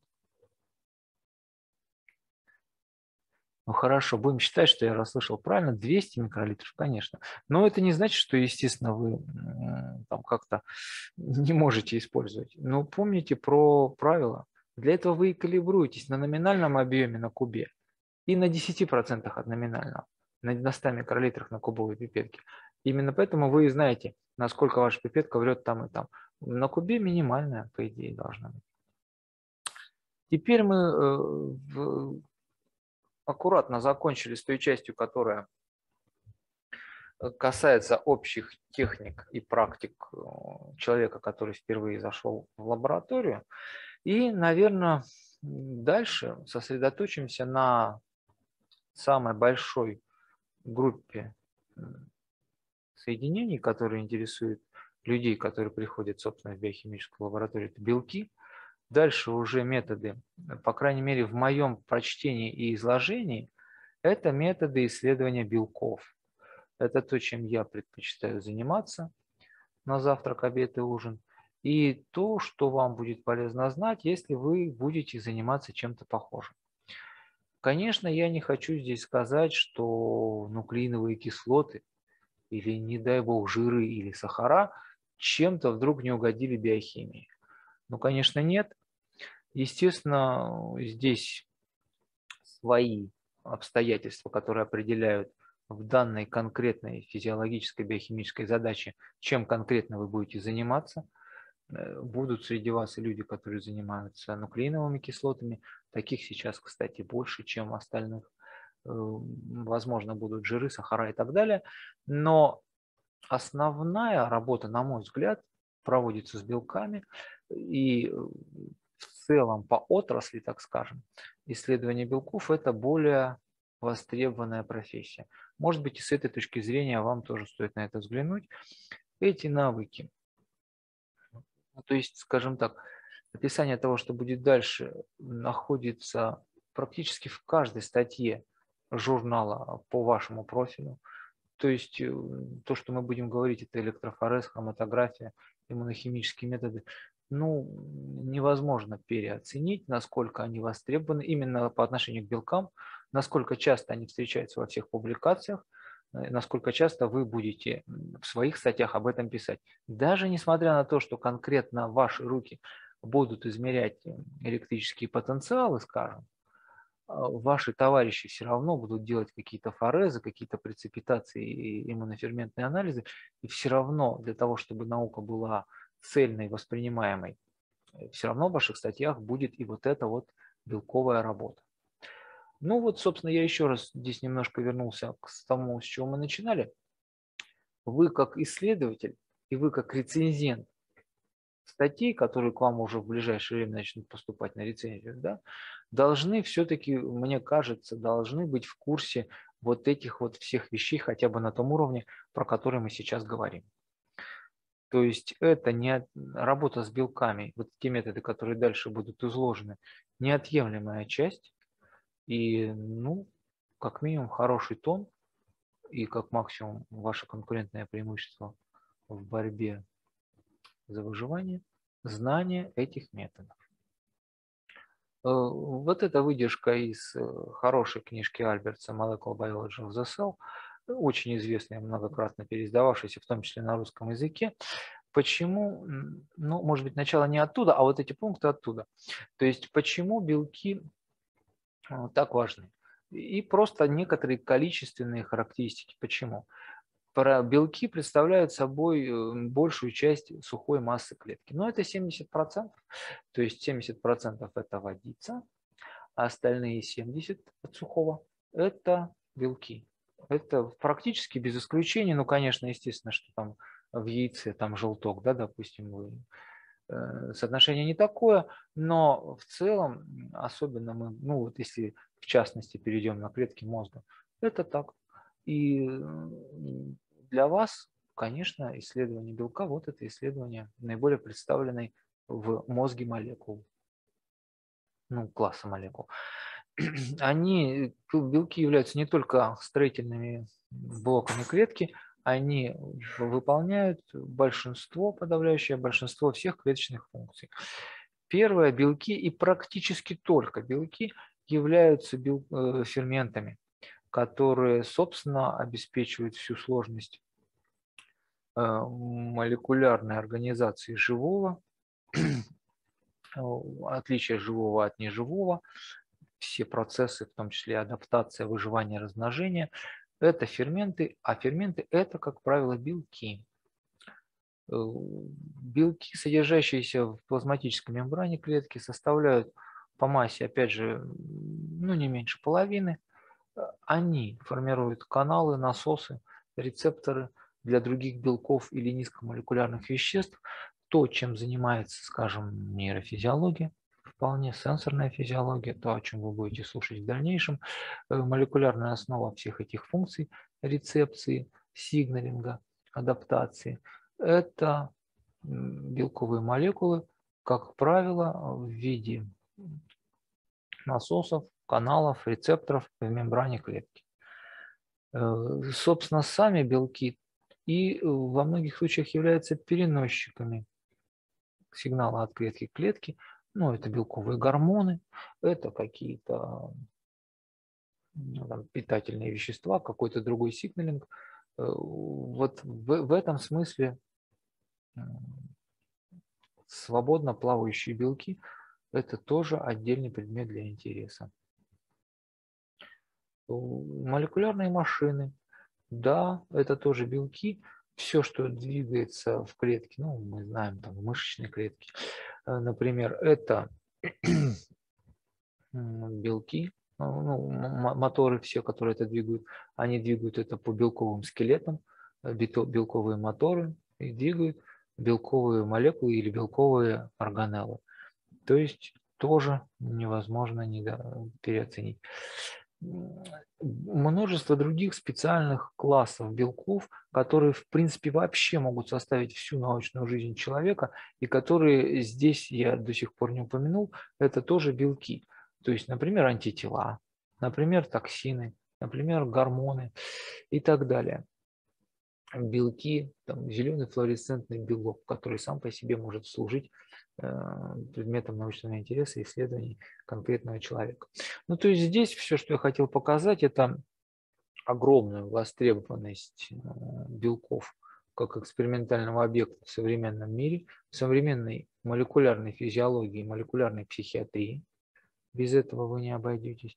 А методы, которые дальше будут изложены, они как раз вот такое ядро того, что сделают, делают с белками в лабораториях. Если уж мы беремся работать с белками, то надо бы знать некоторые правила, которые общие, так скажем, правила, в частности, они могут отличаться в ваших специальных случаях, но в целом эти правила нужно помнить и соблюдать при работе с белками. Здесь правила специфические, в основном белковые. То есть те, кто из вас будут заниматься, ну, скажем, нуклеиновыми кислотами, э, будут иметь другой набор правил для работы с своим биологическим объектом. Э, термическая денатурация.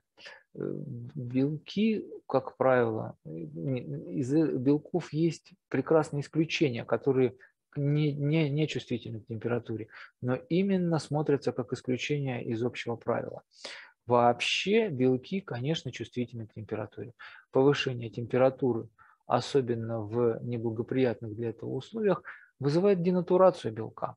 И если вы впоследствии хотите посмотреть функциональную активность этого белка – его взаимодействие с другими белками, взаимодействие рецептора с гормонами и так далее, у вас не получится, потому что термо, термическая денатурация температурная, скорее всего, необратимо э, разрушила вот ту основу для белок белковых или белок, э, там, скажем, низкомолекулярных, белок нуклеиновых взаимодействий. Э, вот поэтому то, что мы уже говорили – биохимические растворы, белки очень часто мы держим на льду, надо про это помнить. Э, храним в холодильниках и в морозильниках, там, допустим, при добавлении глицерина, чтобы это не замерзло, если это нужно. Есть более экзотические способы хранения и предотвращения термической денатурации, э, но основные мы с вами проговорили. И еще один фактор, который, которому способствует сниженная температура, это, конечно, снижение активности э, протеаз. Здесь они по-доброму по-гречески названы эндопептидазами, но это протеазы, которые вот на наш пепсин желудочный, э, трипсин кишечный, множество-множество других, их очень много – Протеазы – это инструмент такой же эволюционной гонки между разными организмами. Они помогают живым организмам съедать другие живые организмы. Протеаз много. Э, и, ну, то есть представить это может быть сложно. В геноме человека ну, что-то 500, наверное, протеаз, вот так. Это один из самых, а может и самый широко представленный класс белков, ну, наверное, же белков больше. Э, и они все уникальны по специфичности. Протеазы, ну, их профессия, они расщепляют белки на составляющие части вплоть до аминокислот. И, конечно, если вы хотите исследовать функциональное значение, функциональную активность своего белка, фермента, рецептора, вам нужно всячески оберегаться от этих протеаз. Вот здесь э, понижение температуры – это еще и понижение активности протеаз и сохранение вашего белка в нативной форме. Э, если работа подразумевает что-то более сложное, например, там, с микроорганизмами, то пониженная температура – это еще и ингибирование роста микроорганизмов. Вода. Э, вода – это очень много для нормальной организации работы биохимической лаборатории. Вода и засунутый в нее pH-метр а, составляют основу того, с чем вы будете э, работать в лаборатории. Все буферные растворы на воде, э, все свои химические эксперименты, как правило, ну, наверное, в наших условиях всегда на воде. Поэтому вода Качество воды – это для нас э, неотъемлемый атрибут нормальной лаборатории. Мы уже знаем, что вода бывает из-под крана для, там, скажем, промывки э, каких-то внешних частей приборов. Была, бывает дионизированная, бывает дистиллированная, бывает вода разного качества. Каждый из вас, наверное, должен представлять, какая вода нужна ему для эксперимента, ее использовать, знать, как она получается – и, ну, в общем, пользоваться с этим знанием для приготовления буферных растворов. Но приготовление буферных растворов, естественно, это э, практически эксклюзивное, на что идет вода. Мы не работаем с белками в чистой воде, как правило. То есть всегда это буферный раствор. Буферный раствор должен держать постоянное значение pH, должен, pH этот не должен сильно зависеть от температуры, ну, скажем, от 4 градусов или от 0 градусов замерзшего белка до там, 20 градусов, при котором мы начинаем с ним работать. Э, кроме того, должно, должно быть состояние белка нативное, поэтому в буферный раствор в эту воду мы добавляем какие-то другие ингредиенты. Ну, опять же, от чего можно отталкиваться? 150 миллимоль э, изотонический раствор. Э, вот, наверное, большинство э, буферов примерно от этого и должно, ну, как-то при, примерно с этим согласуется. Хотя вот не знаю, как в целом по отрасли, может быть, и менее малярные растворы более востребованы. Э, детергенты и мыло. Ну, то есть здесь, как известно, мыло нужно только в бане. Для белков это необратимый способ э, денатурировать, э, каким-то образом разрушить, нарушить структуру, э, разъединить, прекратить взаимодействие двух белков. Вот это оно. Если вы, не подумав, добавили в раствор большую концентрацию детергента, то то, что вы можете ожидать, потерю активности вашего белка. Но это в случае, если, конечно, вам функциональная активность вашего белка нужна. Наоборот, в некоторых приложениях, и про которые мы будем сегодня говорить, денатурация белка обязательна. Тогда добавление детергента – это простейший способ детер... Э, денатурировать белок и использовать его по какому-то вот своему специальному назначению. Но здесь, конечно, я говорю об электрофорезе в денатурирующих условиях, хорошо известной технике, очень распространенной. В любых других случаях мы, наверное, стоит нам от белка, в раствор белка, от детергента воздерживаться. Ну, то есть э, маленькие концентрации неионных детергентов приветствуются. Например, э, в растворах антител, которые мы покупаем и которые стоят довольно недешево, детергент препятствует связыванию молекул антител со стенками сосуда, в котором он находится. То есть это достаточно благая задача. Но это все концентрации маленькие. Большая концентрация белок наш способна убить. И еще мы здесь проговариваем о том, что все, например, пинцеты, скальпели, с которыми мы работаем, для того, чтобы предотвратить денатурацию белка, например, при препарации ткани, мы обязательно очищаем, очищаем от детергентов, потом промываем спиртом, потом высушиваем. Следующим агентом, который может погубить нам белок, являются тяжелые металлы. Э, они в очень маленьких количествах, зачастую недетектируемых простыми методами, способны уже, ну вот речь идет о свинце, э, ртути и некоторых других, э, могут очень быстро денатурировать, инактивировать наш белок. Вот, к сожалению, откуда могут взяться эти металлы? Наверное, из воды или из соли, который, с помощью которой мы приготовили наш буферный раствор. Это нас адресует к предыдущим пунктам. Вода должна быть, э, вы должны знать качество своей воды, с которой работаете, устройство девайса, который вам эту воду предоставляет, и по максимальной возможности знать, какие там могут быть примеси. То же самое относится к солям, скажем, хорошо используемым, широко используемым фосфатом, хлоридом, сахарозе или чему-то, что вы рутинно используете в своей практике. Э, то же самое относится, то же самое как к детергентам, в меньшей степени применимо к органическим растворителям. Как правило, они несовместимы ни с какими задачами по белку.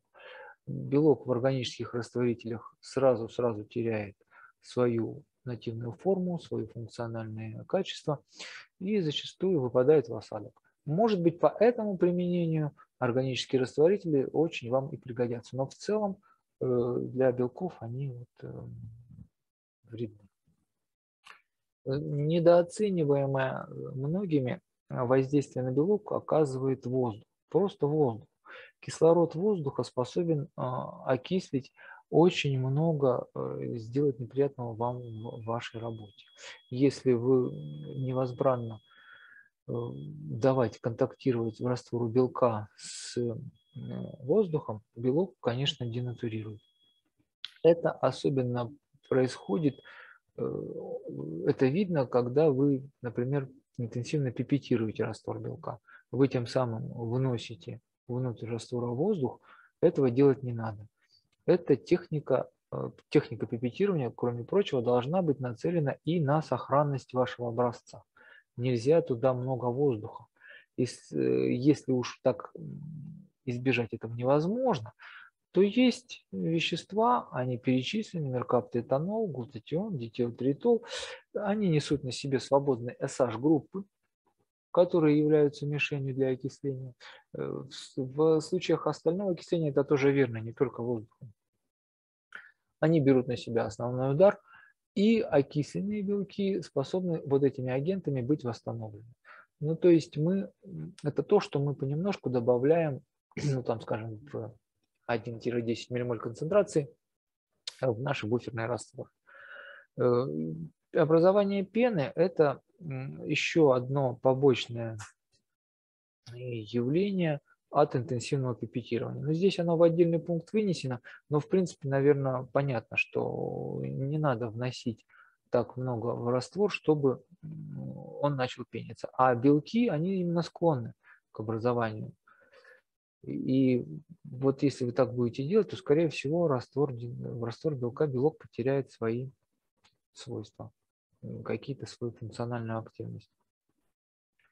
Иногда бывает, что в растворах белка поселяются какие-то чужие организмы.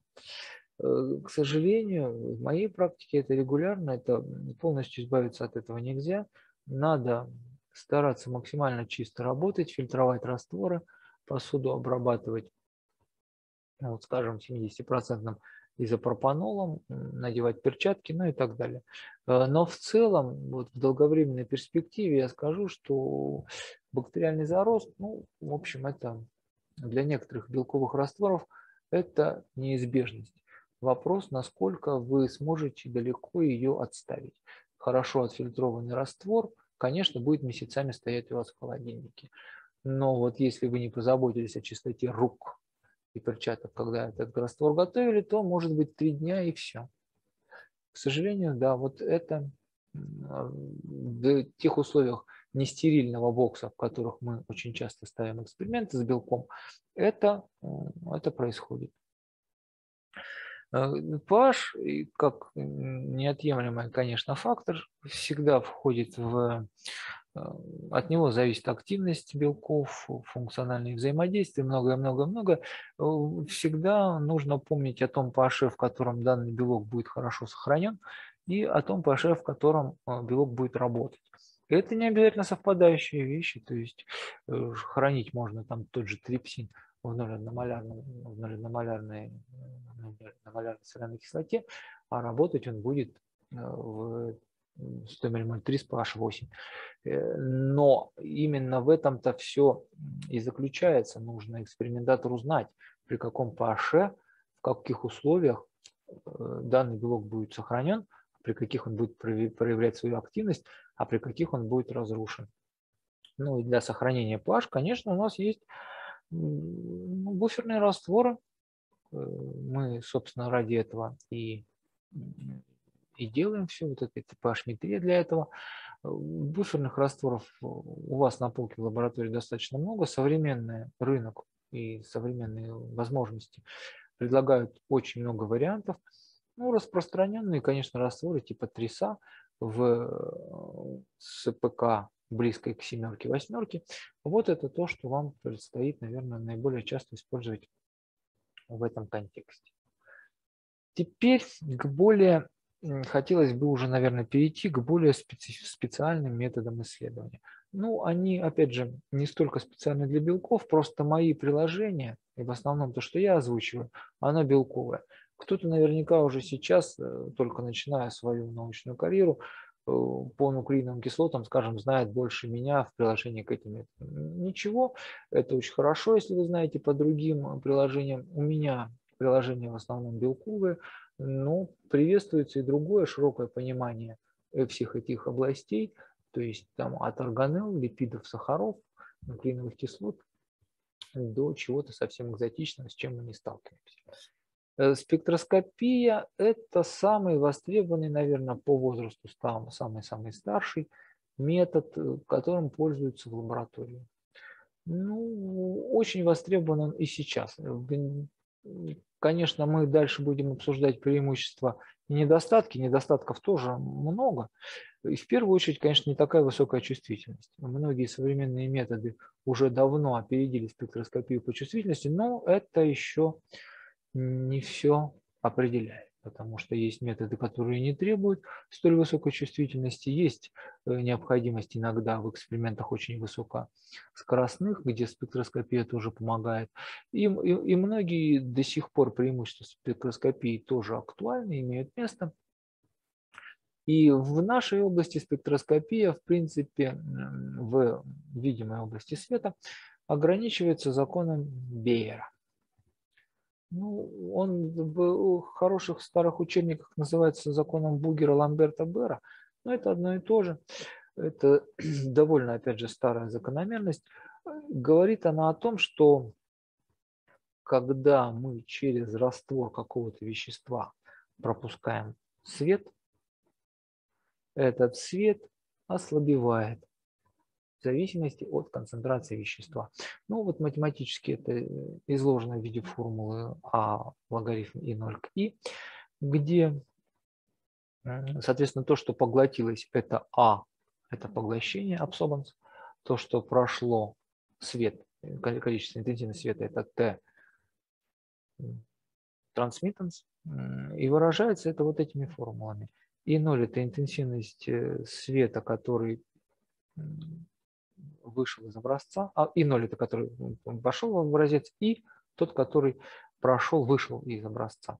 И вот э, в образец он вошел И0, в зависимости от концентрации образца, э, вещества в образце ослабевал и вышел из образца с интенсивностью И. Если мы прологарифмируем И0 к И, мы получим поглощение. Самое, наверное, часто и используемая характеристика веществ, ну, в этом отношении поглощение света раствором вещества. И вот, э, собственно, закон звучит так. Вот это поглощение, оно пропорционально концентрации вещества, это буква С, вот в формуле в последней, длине оптического пути, L, здесь она обозначена, и эпсилон, эпсилон это э, характеристическая особенность вещества. Конечно, есть вещества, которые сильно поглощают свет, которые слабо поглощают свет. Э, и в количественном выражении это поглощение одномолярного раствора. Ну, то есть концентра... Э, если концентрация раствора 1 моль в литре, а длина оптического пути 1 сантиметр, то вот это наша константа эпсилон, она равна поглощению этого раствора. Э, в наших приложениях, в белковых, собственно, эпсилон принимает значение от сотен до, наверное, сотен тысяч. То есть вещества, у которых эпсилон здесь подставьте, да, сотню, там тысячу даже, чтобы детектировать с помощью поглощения ну, в 1-сантиметровой кювете – нужны многие миллимоли, а для каких-то э, веществ, у которых поглощение сотни тысяч эпсилон, для них, наверное, хватает и каких-то долей. Но в целом это как раз характеризует те концентрации, с которыми мы можем работать с применением этого метода. Это миллимоли, моли-моли или э, в зависимости от объекта может быть и поменьше, но немножко поменьше. Здесь представлена картиночка, наверное, первая картинка в презентации, а, по которой, в принципе, можно представить, с какими длинами волн мы работаем в, для каких приложений, ну, для наших белковых. То есть сами белки поглощают э, в ультрафиолете. Если вам нужно грубо оценить концентрацию белка в пробирке, вот по предыдущему закону Богера, Ламберта Бера, Э, поглощение, скажем, на 280 нанометрах или на 215 нанометрах, это очень частый, самый простой наверняка метод определения концентрации белка. Опять же, не только для белка это работает, для многих других веществ тоже, но вот белок наиболее частое приложение. Дальше свет по нарастанию до инфракрасного, который, э, ну, инфракрасный уже не так применим, а все остальные цвета видимые, они, это, конечно, очень востребованные в современной науке в этой области э, длины волн, потому что на каждой, вот здесь они обозначены, во, во всех этих диапазонах существуют вещества, важные для биохимии, которые там характеристически именно там поглощают свет. То есть для нас это э, удобный способ разделять, э, в смысле определять, какое вещество одно или другое, ну и также определять его концентрацию. Иметь, э, я имею в виду, иметь у себя в арсенале прибор, который может э, светить светом вот с разной длиной волны, включая ультрафиолеты, скажем, там до 750 нанометров. Это очень полезно для того, чтобы различать разные вещества, которые у нас есть, и определять их концентрацию. Здесь еще слева обозначена немножко схема оптического пути, как это называется. Когда мы говорим про поглощение, то понятно, э, на одной, длине, на одной прямой должны находиться источник и детектор света. А вот если мы определяем флуоресценцию, о которой сейчас будет речь, то под углом, как правило, это 90 градусов, вот как нарисовано внизу. Э, а э, если находится на одной прямой, то э, это не флуоресценция. здесь вы можете уже и сами ну, просто по визуальной конфигурации, э, вдруг если что-то пошло не так, определить, э, как, как это нужно поставить, например. Если мы не определяем, ну, то есть, если прибор не говорит нам, на какой длине волны происходит измерение, то вся эта техника будет называться фотометрией, а прибор фотометр. Ну, тоже э, сейчас, опять же, не так дорого и не так сложно иметь более продвинутые приборы, хотя для некоторых приложений фотометрия вполне нормально. Ну, то есть, скажем, если у вас есть желание общего определения общей концентрации белка, такой какой-то интегральной характеристики вашей, то вам фотометр, наверное, на определенной длине волны очень даже будет достаточен и, наверное, адекватен. Спектрофотометрия – это уже измерение света, интенсивности да, света на некоторых выбранных длинах волн они как раз э, в основном у нас используются ультрафиолетовые и видимые длины волн. Причем точность, с которой определяется длина волны, это тоже еще вот отдельная задача. Дело в том, что иногда, может быть даже часто, э, источник, длины, источник света определенной длины волны – это фильтр, через который проходит общий свет – а выходит вот уже с определенной длиной волны. Ну так это как раз, наверное, не определенная длина волны, а это э, ширина, какая-то вырезанная из спектра полоска, может быть шириной там 40 нанометров, например. Тогда вот этот источник, спектрофотометр, будет примерно одинаково, можно считать, светить вот на, во, во всем этом диапазоне нескольких десятков нанометров. То есть длина волны это не обязательно в данном случае просто одно число, там 550. Возможно, какой-то метод подразумевает, что это от 520 до 570. Это вполне может быть. Это все равно будет спектрофотометрией. А все эти, то же самое основано на, законы, на законе поглощения света в зависимости от концентрации растворенного вещества. И, и, собственно, прибор то, что делает и фотометр, и спектрофотометр, он определяет э, интенсивность света, задает интенсивность, которая входит в образец, и измеряет то, которое из образца вышло. Однако, и это, наверное, надо помнить, у этого закона есть исключение. Ну, конечно, как всегда. Не вдаваясь физические тонкости устройства этого мира, этих растворов и этого вещества, можно сказать, э, что, что какие могут, какие, во-первых, предположения должны выполняться. Э, выходящий свет а, должен быть одной длины волны. Тогда закон э, должен выполняться. Если у вас поглощает растворитель, котором растворен ваш белок, да, там, скажем, то, конечно, э, мы не вправе ожидать выполнения закона. Концентрация вещества в определенных пределах. Какие это пределы, будет немножко попозже. Но в целом эм, мы помним, что поглощение – это десятичный логарифм отношения света входящего к исходящему. И вот э, больше четырех порядков, то есть больше, чем в 10 тысяч раз отличие исходящего ко входящему свету, практически не встречается. И оптимально, ну, то есть для большинства приборов, наверное, это просто прописано, э, разница абсорбанс должна быть не больше единицы. То есть отношение интенсивности входящего света к интенсивности исходящего должно быть в 10 раз, не больше. Это вот наш это, это наше поглощение. То есть вот такой, такой должен быть раствор.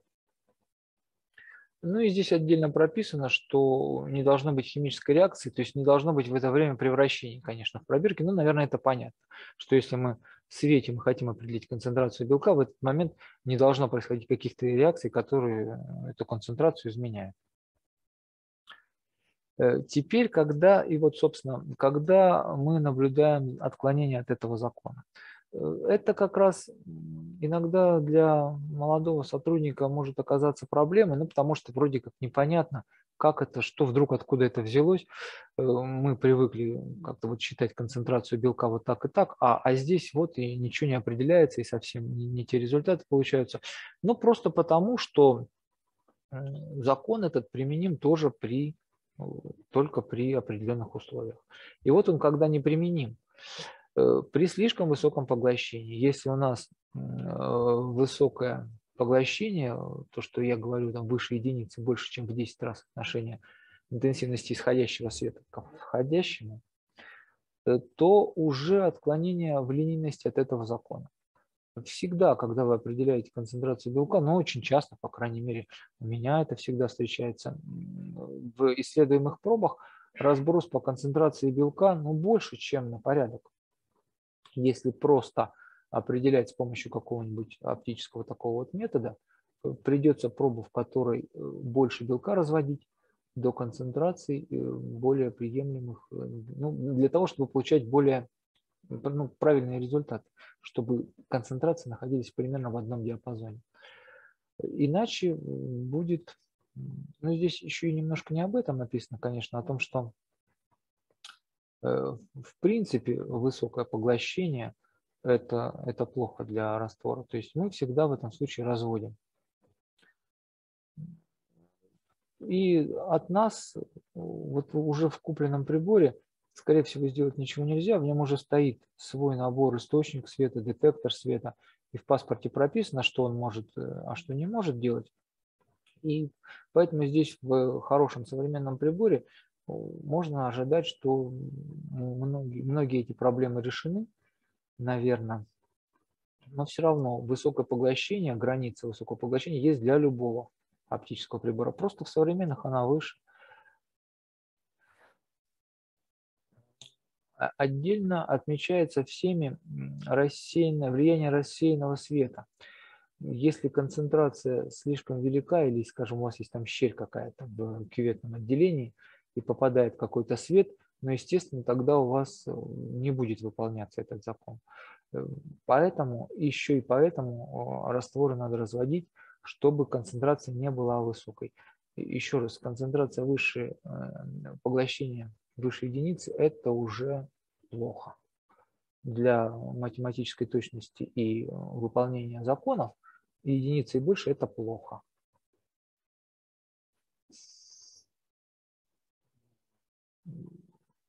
Да, ну, в хорошем спектрофотометре рассеянный свет, конечно, э, все сделано, чтобы его не было, но это можно и проверить. Опять же, для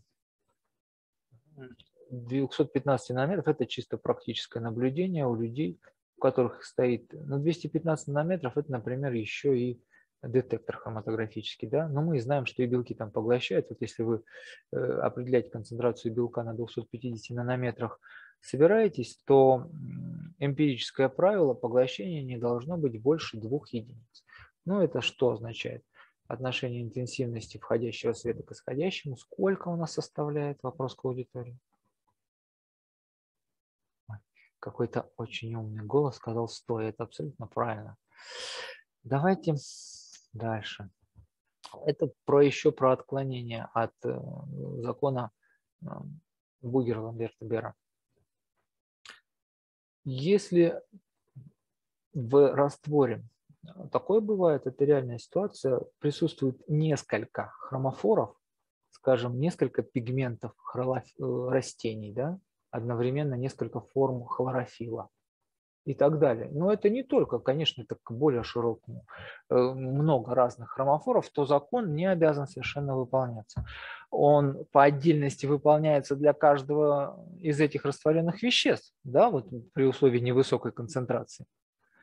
Но в их смеси не стоит ожидать, что у вас одновременно можно на двух длинах волны, двух длинах волн определить концентрацию двух веществ одновременно в пробирке скорее, ну в кювете, скорее надо делать два разных эксперимента. В одном одно вещество, в другом другое. Ну и иначе вы можете получить некоторые отклонения от линейности в выполнении этого закона, ну и не, некорректное определение концентрации. Ведь мы же для определения концентрации этот закон используем. Для вот таких случаев закон не применим.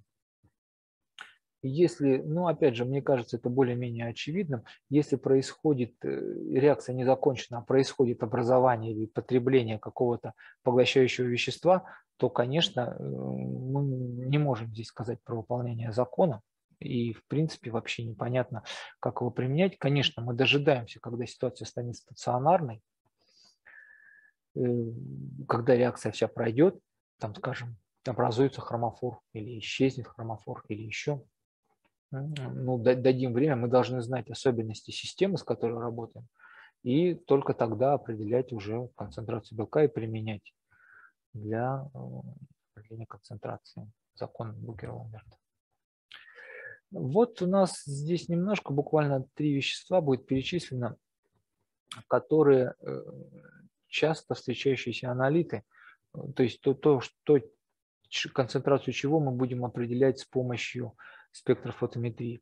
Э, аминокислоты и белки, они, как поглощение определяется в ультрафиолетовом регионе, в ультрафиолетовой области спектра определяется боковыми группами аминокислот.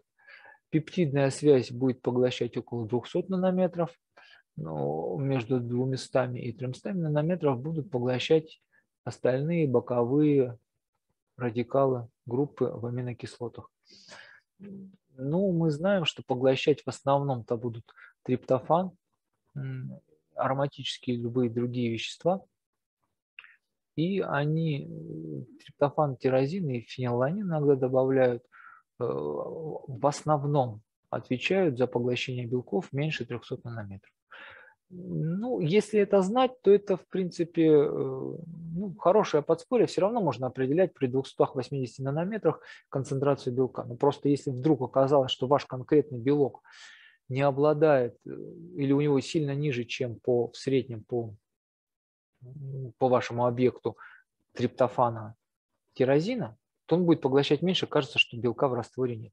Но это редкие ситуации. Опять же, вы э, вооружены вот этим знанием, когда в целом вы просто в гомогенате, в большой смеси белков определяете концентрацию, конечно, различием в содержании, индивидуальном содержании ароматических аминокислот между белками мы пренебрегаем.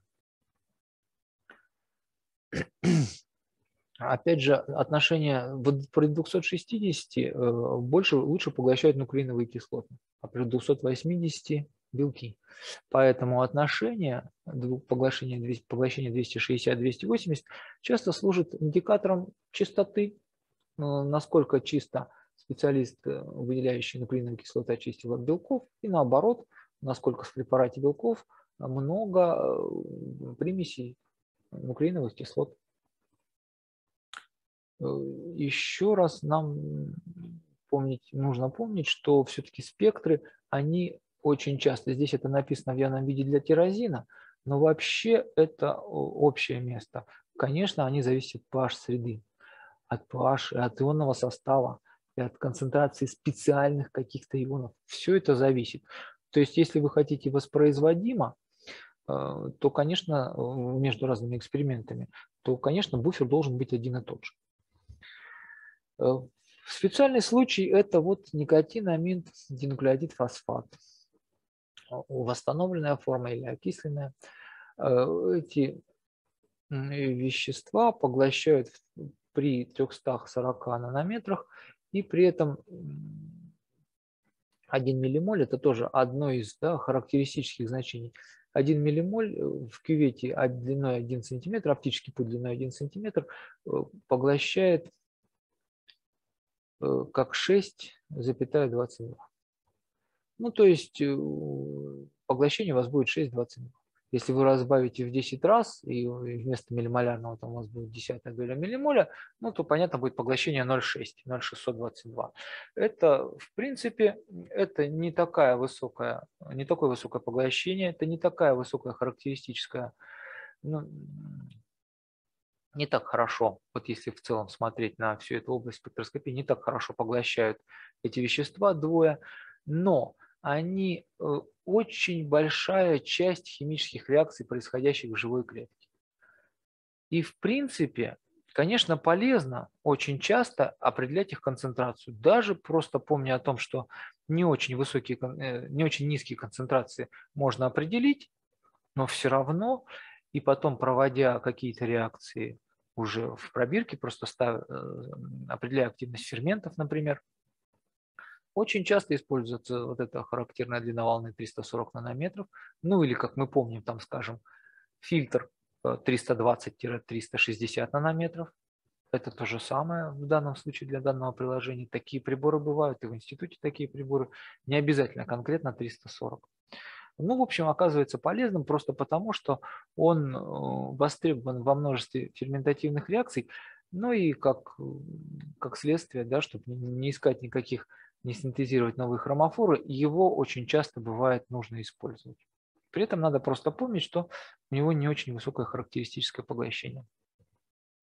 Но это аминокислоты, ой, это нуклеиновые кислоты. Теперь уже э, про них известно то же самое, про pH-зависимость э, обязательно надо помнить, они по-разному поглощают. По-разному поглощают ДНК и РНК. Э, примеси определяем, как мы уже сказали, по, по поглощению на 260, по отношению поглощения 260-280.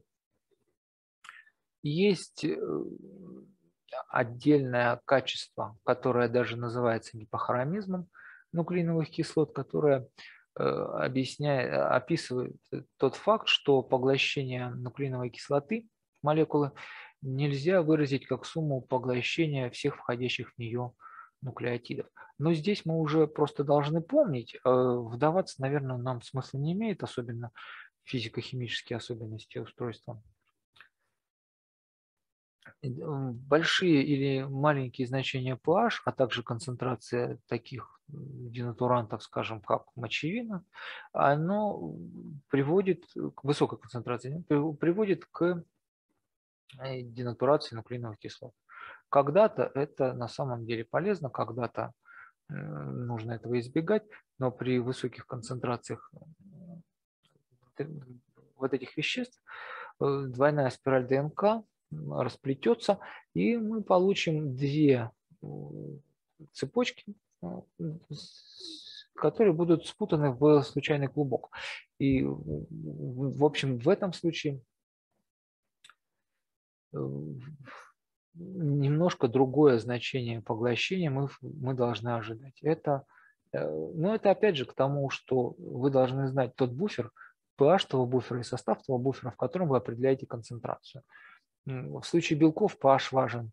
В случае ДНК концентрация хоотропов важна, типа вот мочевины.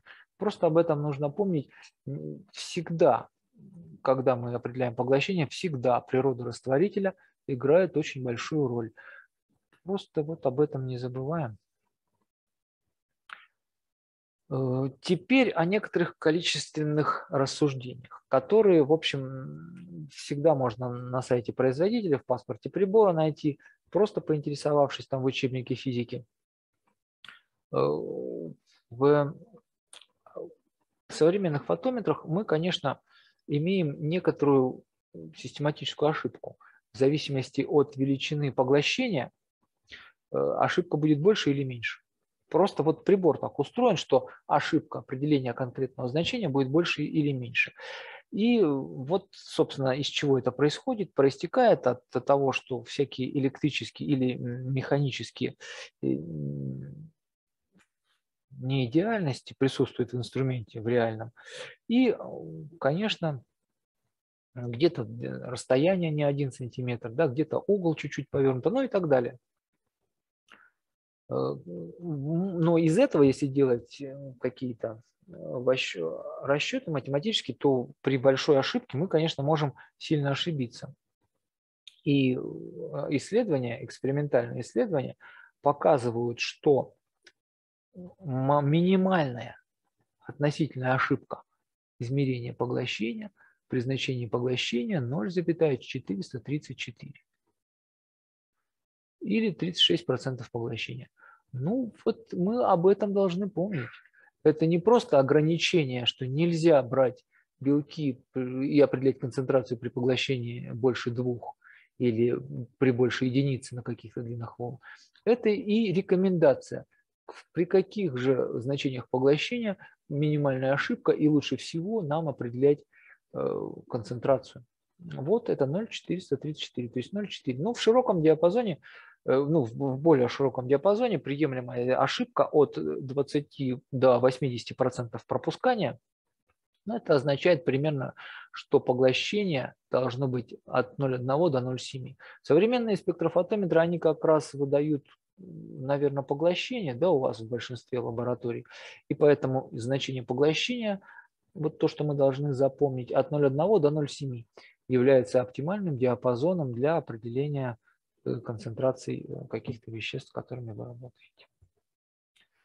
Но это не все оптические техники. Про спектроскопию, про фотометрию мы поговорили. Это, конечно, огромный пласт и исторически более востребованная часть такая. Много методик было сделано еще в середине 20 века ни на что, кроме этого, наверное, нельзя было опереться вот четко экспериментально из оптических методов. Сейчас, конечно, больше. И э, методы, которые более современные, они характеризуются в первую очередь большей чувствительностью, но кроме этого, естественно, большая избирательность, селективность, много чего, что много плюсов у методов люминометрии по сравнению с методами спектрофотометрии. Это не отрицает использование спектрофотометров. Спектрофотометры, они в этом смысле универсальны. То есть практически все вещества, ну или представители классов веществ поглощают в той или иной области. Конечно, это не всегда высокий, не всегда можно детектировать маленькие концентрации, не всегда можно различать несколько разных веществ, что позволяют делать другие оптические методы, но все равно это остается очень востребованным, очень мощным инструментом лабораторной практики. Конечно, знать Э, как работает, ну вот в этом смысле, знать, как работает спектрофотометр, знать ограничения, вот их буквально там 5, знать несколько классов, которые, э, веществ, которые можно определить, ну вот это, наверное, в наших с вами силах. Даже вот всегда иметь в арсенале какой-нибудь спектрофотометрический метод ну, для этих целей, для концентрации. Э, ну вот следующим шагом в оптических методах э, люминометрия, э, которая более чувствительно включает в себя хемиолюминесценцию, биолюминесценцию и гораздо более редкую электрохемиолюминесценцию, ну, которые, соответственно, возбуждение света в результате химической, биохимической или какой-то иной реакции, они как освещая, в спектрофотометрии освещаем светом, здесь этого не нужно – Химиолюминесценция, ну тоже, наверное, многие знают, это пришло из живой природы, а, окисляется люциферин, светлячков там, по-моему, да, нашли, и светится какое-то время, там происходит свет без возбуждения светом, происходит вспышка света, ее можно детектировать, это тоже вполне количественный метод. Э, некоторые ферменты, вот здесь они перечислены, вот их активность, определяется их прямая работа в живой системе, э, вот в окислении чего-то такого, состоит, поэтому по, по окислению вот таких люминицирующих, хемилюминицирующих веществ можно судить об активности этих ферментов. Э, комплексы металлов могут в химилю, проявлять химилюминесцентные или даже отдельные ионы металлов. Ну, как видите, это специальное приложение. Это уже не совсем такая широкая биохимия, которая, э, ну, про которую мы говорили в разговоре про спектрофотометрические методы. Э, есть еще более чувствительная биолюминесценция. Здесь обращаю ваше внимание, что чувствительность метода может достигать зептомоля. Это слово, которое я очень редко произношу в жизни, и, наверное, вам тоже не часто это придется делать. Зептамоль – это примерно 600 молекул вещества. Ну, то есть для тех, кто далек от этой области, это очень-очень-очень мало. Миллимоль это, конечно, 10 в 20 степени. Ну, примерно, да, 21. А это просто 100 молекул. Это колоссальная чувствительность. Конечно, методы, которые с помощью э, фотометрические методы такие невозможны. А люминометрические, вот как видите, биолюминесцентные методы вот уже к такому порогу по чувствительности приближаются. Понятно, что это уникальные методы, которые, ну, не знаю для чего, для каких приложений рядовой биохимии нужны, но тем не менее поражают именно своей чувствительностью. Э, у нас не каждый фотон, который, вернее, не каждая молекула, которая прореагировала, э, испускает фотон, э, то есть свет, который мы можем детектировать. Это важный экспериментальный параметр для вашей системы, и он, в принципе, может варьировать довольно в широких пределах. Э, называется это квантовый выход, то есть чем больше фотонов вышло в результате реакции в пересчете на число молекул, которые прореагировала, тем и больше квантовый выход. Ну и вот он может быть от 0,1%, то есть только когда одна тысячная прореагировавшая молекула испускает свет, до 30%, когда это сделали три молекулы из 10. Соответственно, на этом основаны методы какие-то. Вы просто должны знать э, характеристику своего метода. Ну и в зависимости от этого э, уже подбирать концентрацию остальных реактивов. Электрохимиолюминесценция вынесена здесь в отдельную. Она тоже довольно экзотический метод. Э, хилаты металлов, тоже очень редко встречающихся в, в экспериментальной практике, в лаборатории, вот они э, и обладают вот этой способностью. При окислении на э, поверхности какого-то электрода происходит вспышка света он тоже очень чувствителен, и на основе вот этих рутениевых меток э, созданы какие-то, ну, несколько довольно распространенных, очень чувствительных методов выявления различных э, токсинов, да, вот э, что-то такое, антигенов любой другой природы. Это очень чувствительные, но при этом, конечно, не дешевые методы и не так часто используемые в рутинной практике нашей ограничения методов э, химилюминесценции и, в принципе, люминесценции. Мы про ограничения спектрофотометрии поговорили. А теперь что же может нам, что мешает люминесцентным методам? Ну, для них, а во-первых, они более чувствительные.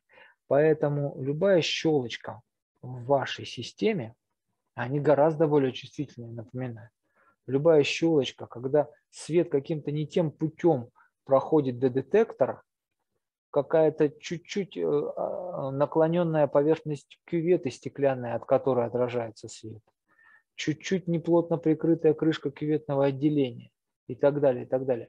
Они вот прям гарантированно поменяют вам результаты. Вот это ну, как бы так вот метафизическая плата за высокую чувствительность. Но об этом надо помнить. Естественно, что этими методами начинают работать те люди, которым не хватает чувствительности обычных спектрофотометрических методов. Да? Поэтому они об этом знают. Но знаете и вы, это действительно очень чувствительные методы, но требующие гораздо более тщательных э, приготовлений э, самого эксперимента, ну, самого эксперимента, самого, самого проведения эксперимента, оптической его части. И при, даже более того, это методы настолько чувствительны, что вот здесь это третьим пунктом, э, что могут детектировать, например, люминесценцию пластиковых трубочек, через которые протекает ваш раствор. Ну, просто об этом надо помнить. Э, конфигурация системы, ее чувствительность совсем другая, как в спектрофотометрах, где на это, конечно, э, можно внимание не обращать. Здесь обязательно нужно иметь это в виду. И еще с люминесценциями, со всеми ее видами, конечно, сложнее найти линейный участок, диапазон, когда, ну, скажем, линейно э, химиолюминесценция зависит от концентрации. Сложнее, чем со спектрофотометрией.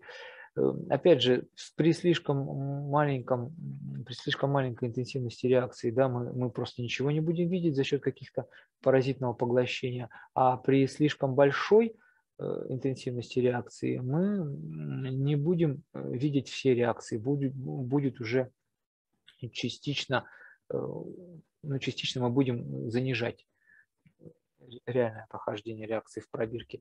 То есть, э, еще раз подытоживая, это методы гораздо более чувствительны, к ним требуется некоторый специальный подход, знания какие-то, но при этом они, конечно, остаются очень востребованными. Специальное приложение люминесценции, детекция белков э, на мембранах после электрофореза, ну это вообще может быть половина современных исследований белка.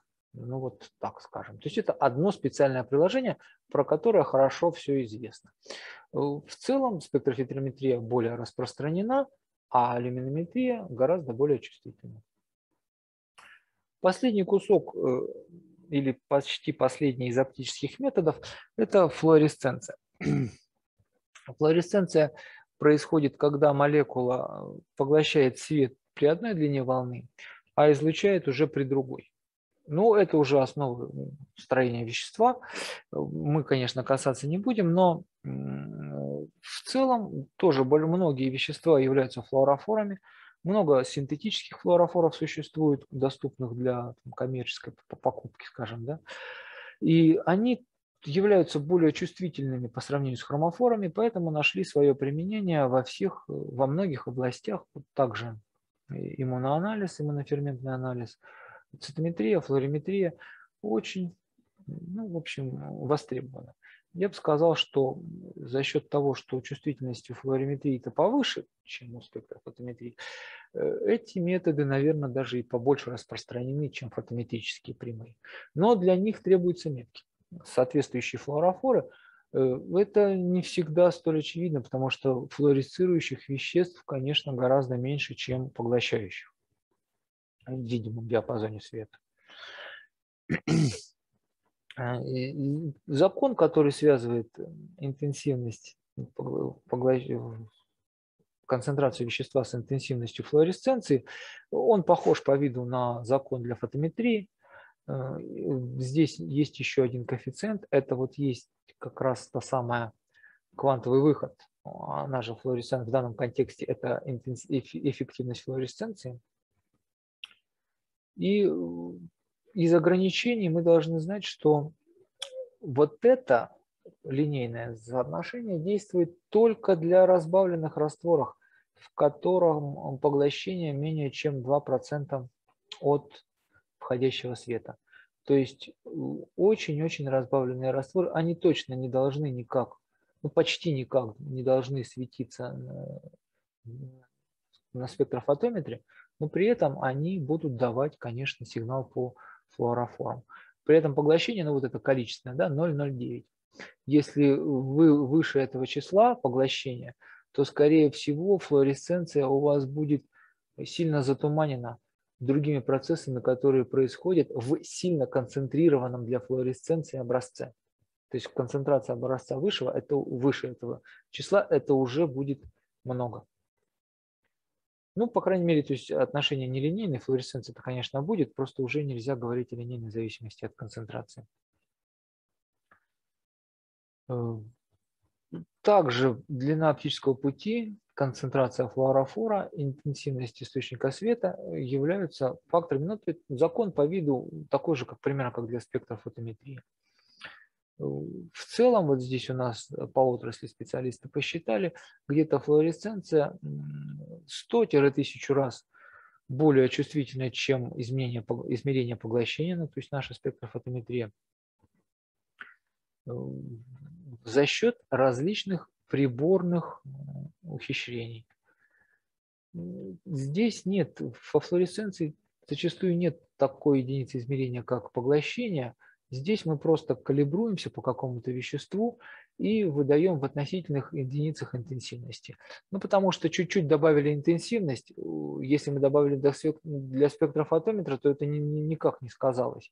А если добавили для флуориметра, то уже сказалось. Сложно от, эм, откалибровать все флюориметры на один и тот же уровень интенсивности, поэтому просто люди сообщают не абсолютные единицы, а относительные единицы по интенсивности флуоресценции, которая вот э, зависит от некоторых э, вещей, которые внутри прибора спрятаны и которые мы так легко не контролируем. И сравнить, так скажем, наш прибор и соседней лаборатории вот так вот просто не получится. В отличие от спектрофотометров, которые, в общем, и здесь, и там, и за океаном а работают одинаково, и числа будут давать одни и те же.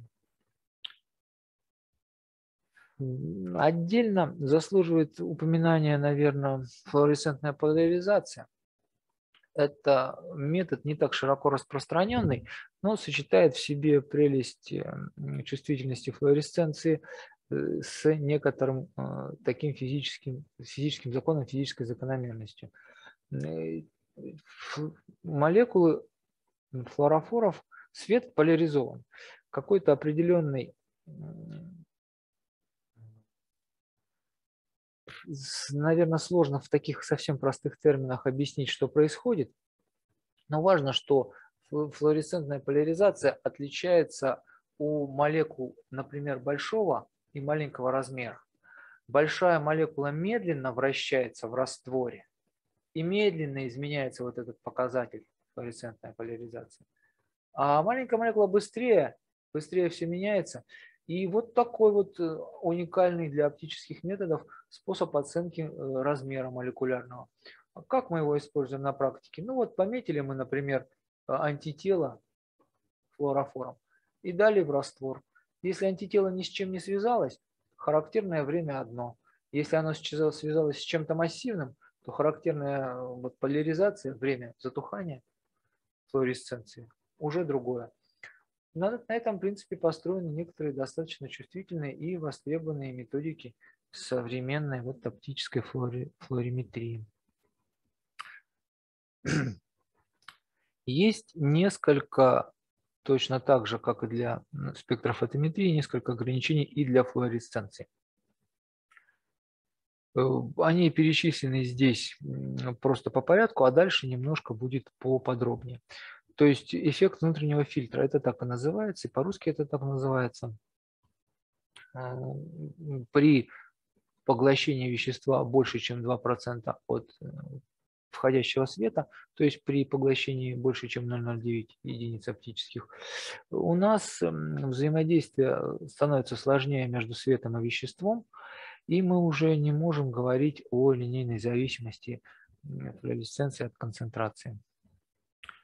Э, при больших концентрациях э, происходит так называемое тушение флуоресценции.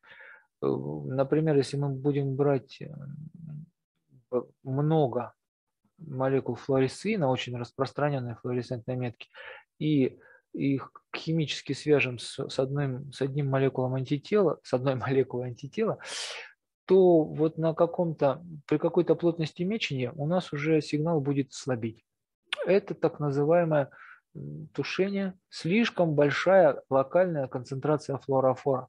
Этого надо бояться. Рассеяние света точно так же, но мы там немножко в другом контексте говорили про спектрофотометрию. Э, здесь это немножко по-другому, но тоже рассеяние света влияет на флуоресценцию. К счастью, для рассеяния света четко известна длины волн, на которых она будет рассеивать, в зависимости от э, природы того, что находится в кювете.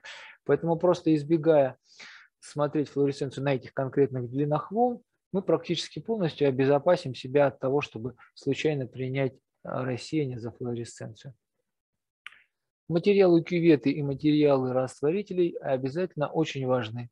Долгое время э, чисто технически не было возможно определять высокую, наоборот, низкую концентрацию флуорофоров, просто потому, что флуоресцентные кюветы с неизбежностью делали с использованием клея, который сам по себе флуоресцировал в наших видимых диапазонах.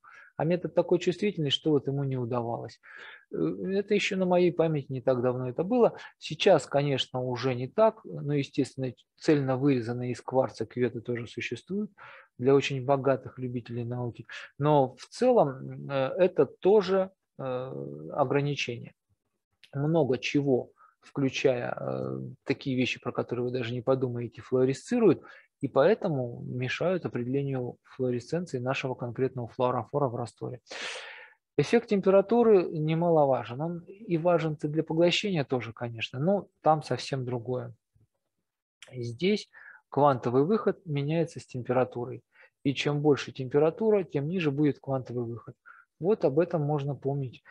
Э, опять же, если это можно проверять в зависимости от температуры, какие-то делать специфические эксперименты, которые проверяют, что светится у вас ваш конкретный флуорофор, если вы знаете его свойства. Но это уже скорее применение по непрофильному назначению. В целом мы просто должны сделать вывод, что определяем температуру всегда при одной и той же температуре. От температуры флуоресценция очень сильно зависит. Э, есть вещества, это все опять же к составу растворителя. Во многих растворителях, вот здесь про э, липиды, про примесь липидов, ну и другие вещества часто встречаются. Бывают, мешают определению. Мало того, они сорбируются на стенке кювет, кюветы начинают отражать, отраженный свет начинает интерферировать. Ну, то есть уже та же самая болезнь высокой чувствительности. Флюориметры настолько чувствительны, что это чувствуют. Так что максимально чистый растворитель, про, который, про состав которого все известно. При высокой интенсивности света будет происходить э, просто разрушение флуорофора. А, это, к сожалению, тоже, особенно там, скажем, для флуоресцентных микроскопов, где огромная интенсивность света. Это ограничение э, будет э, разрушаться сам флуорофор, этого нужно избегать по мере возможности. Поэтому, кстати, всегда флуорофоры мы храним в темных баночках. Ну, это отчасти это помогает. То же самое относится, например, окислители все, в том числе воздух, стараемся убрать из этих баночек. Они медленно взаимодействуют с флуорофорами, и, и флуорофоры просто ну, перестают обладать вот этим свойством флуоресценции.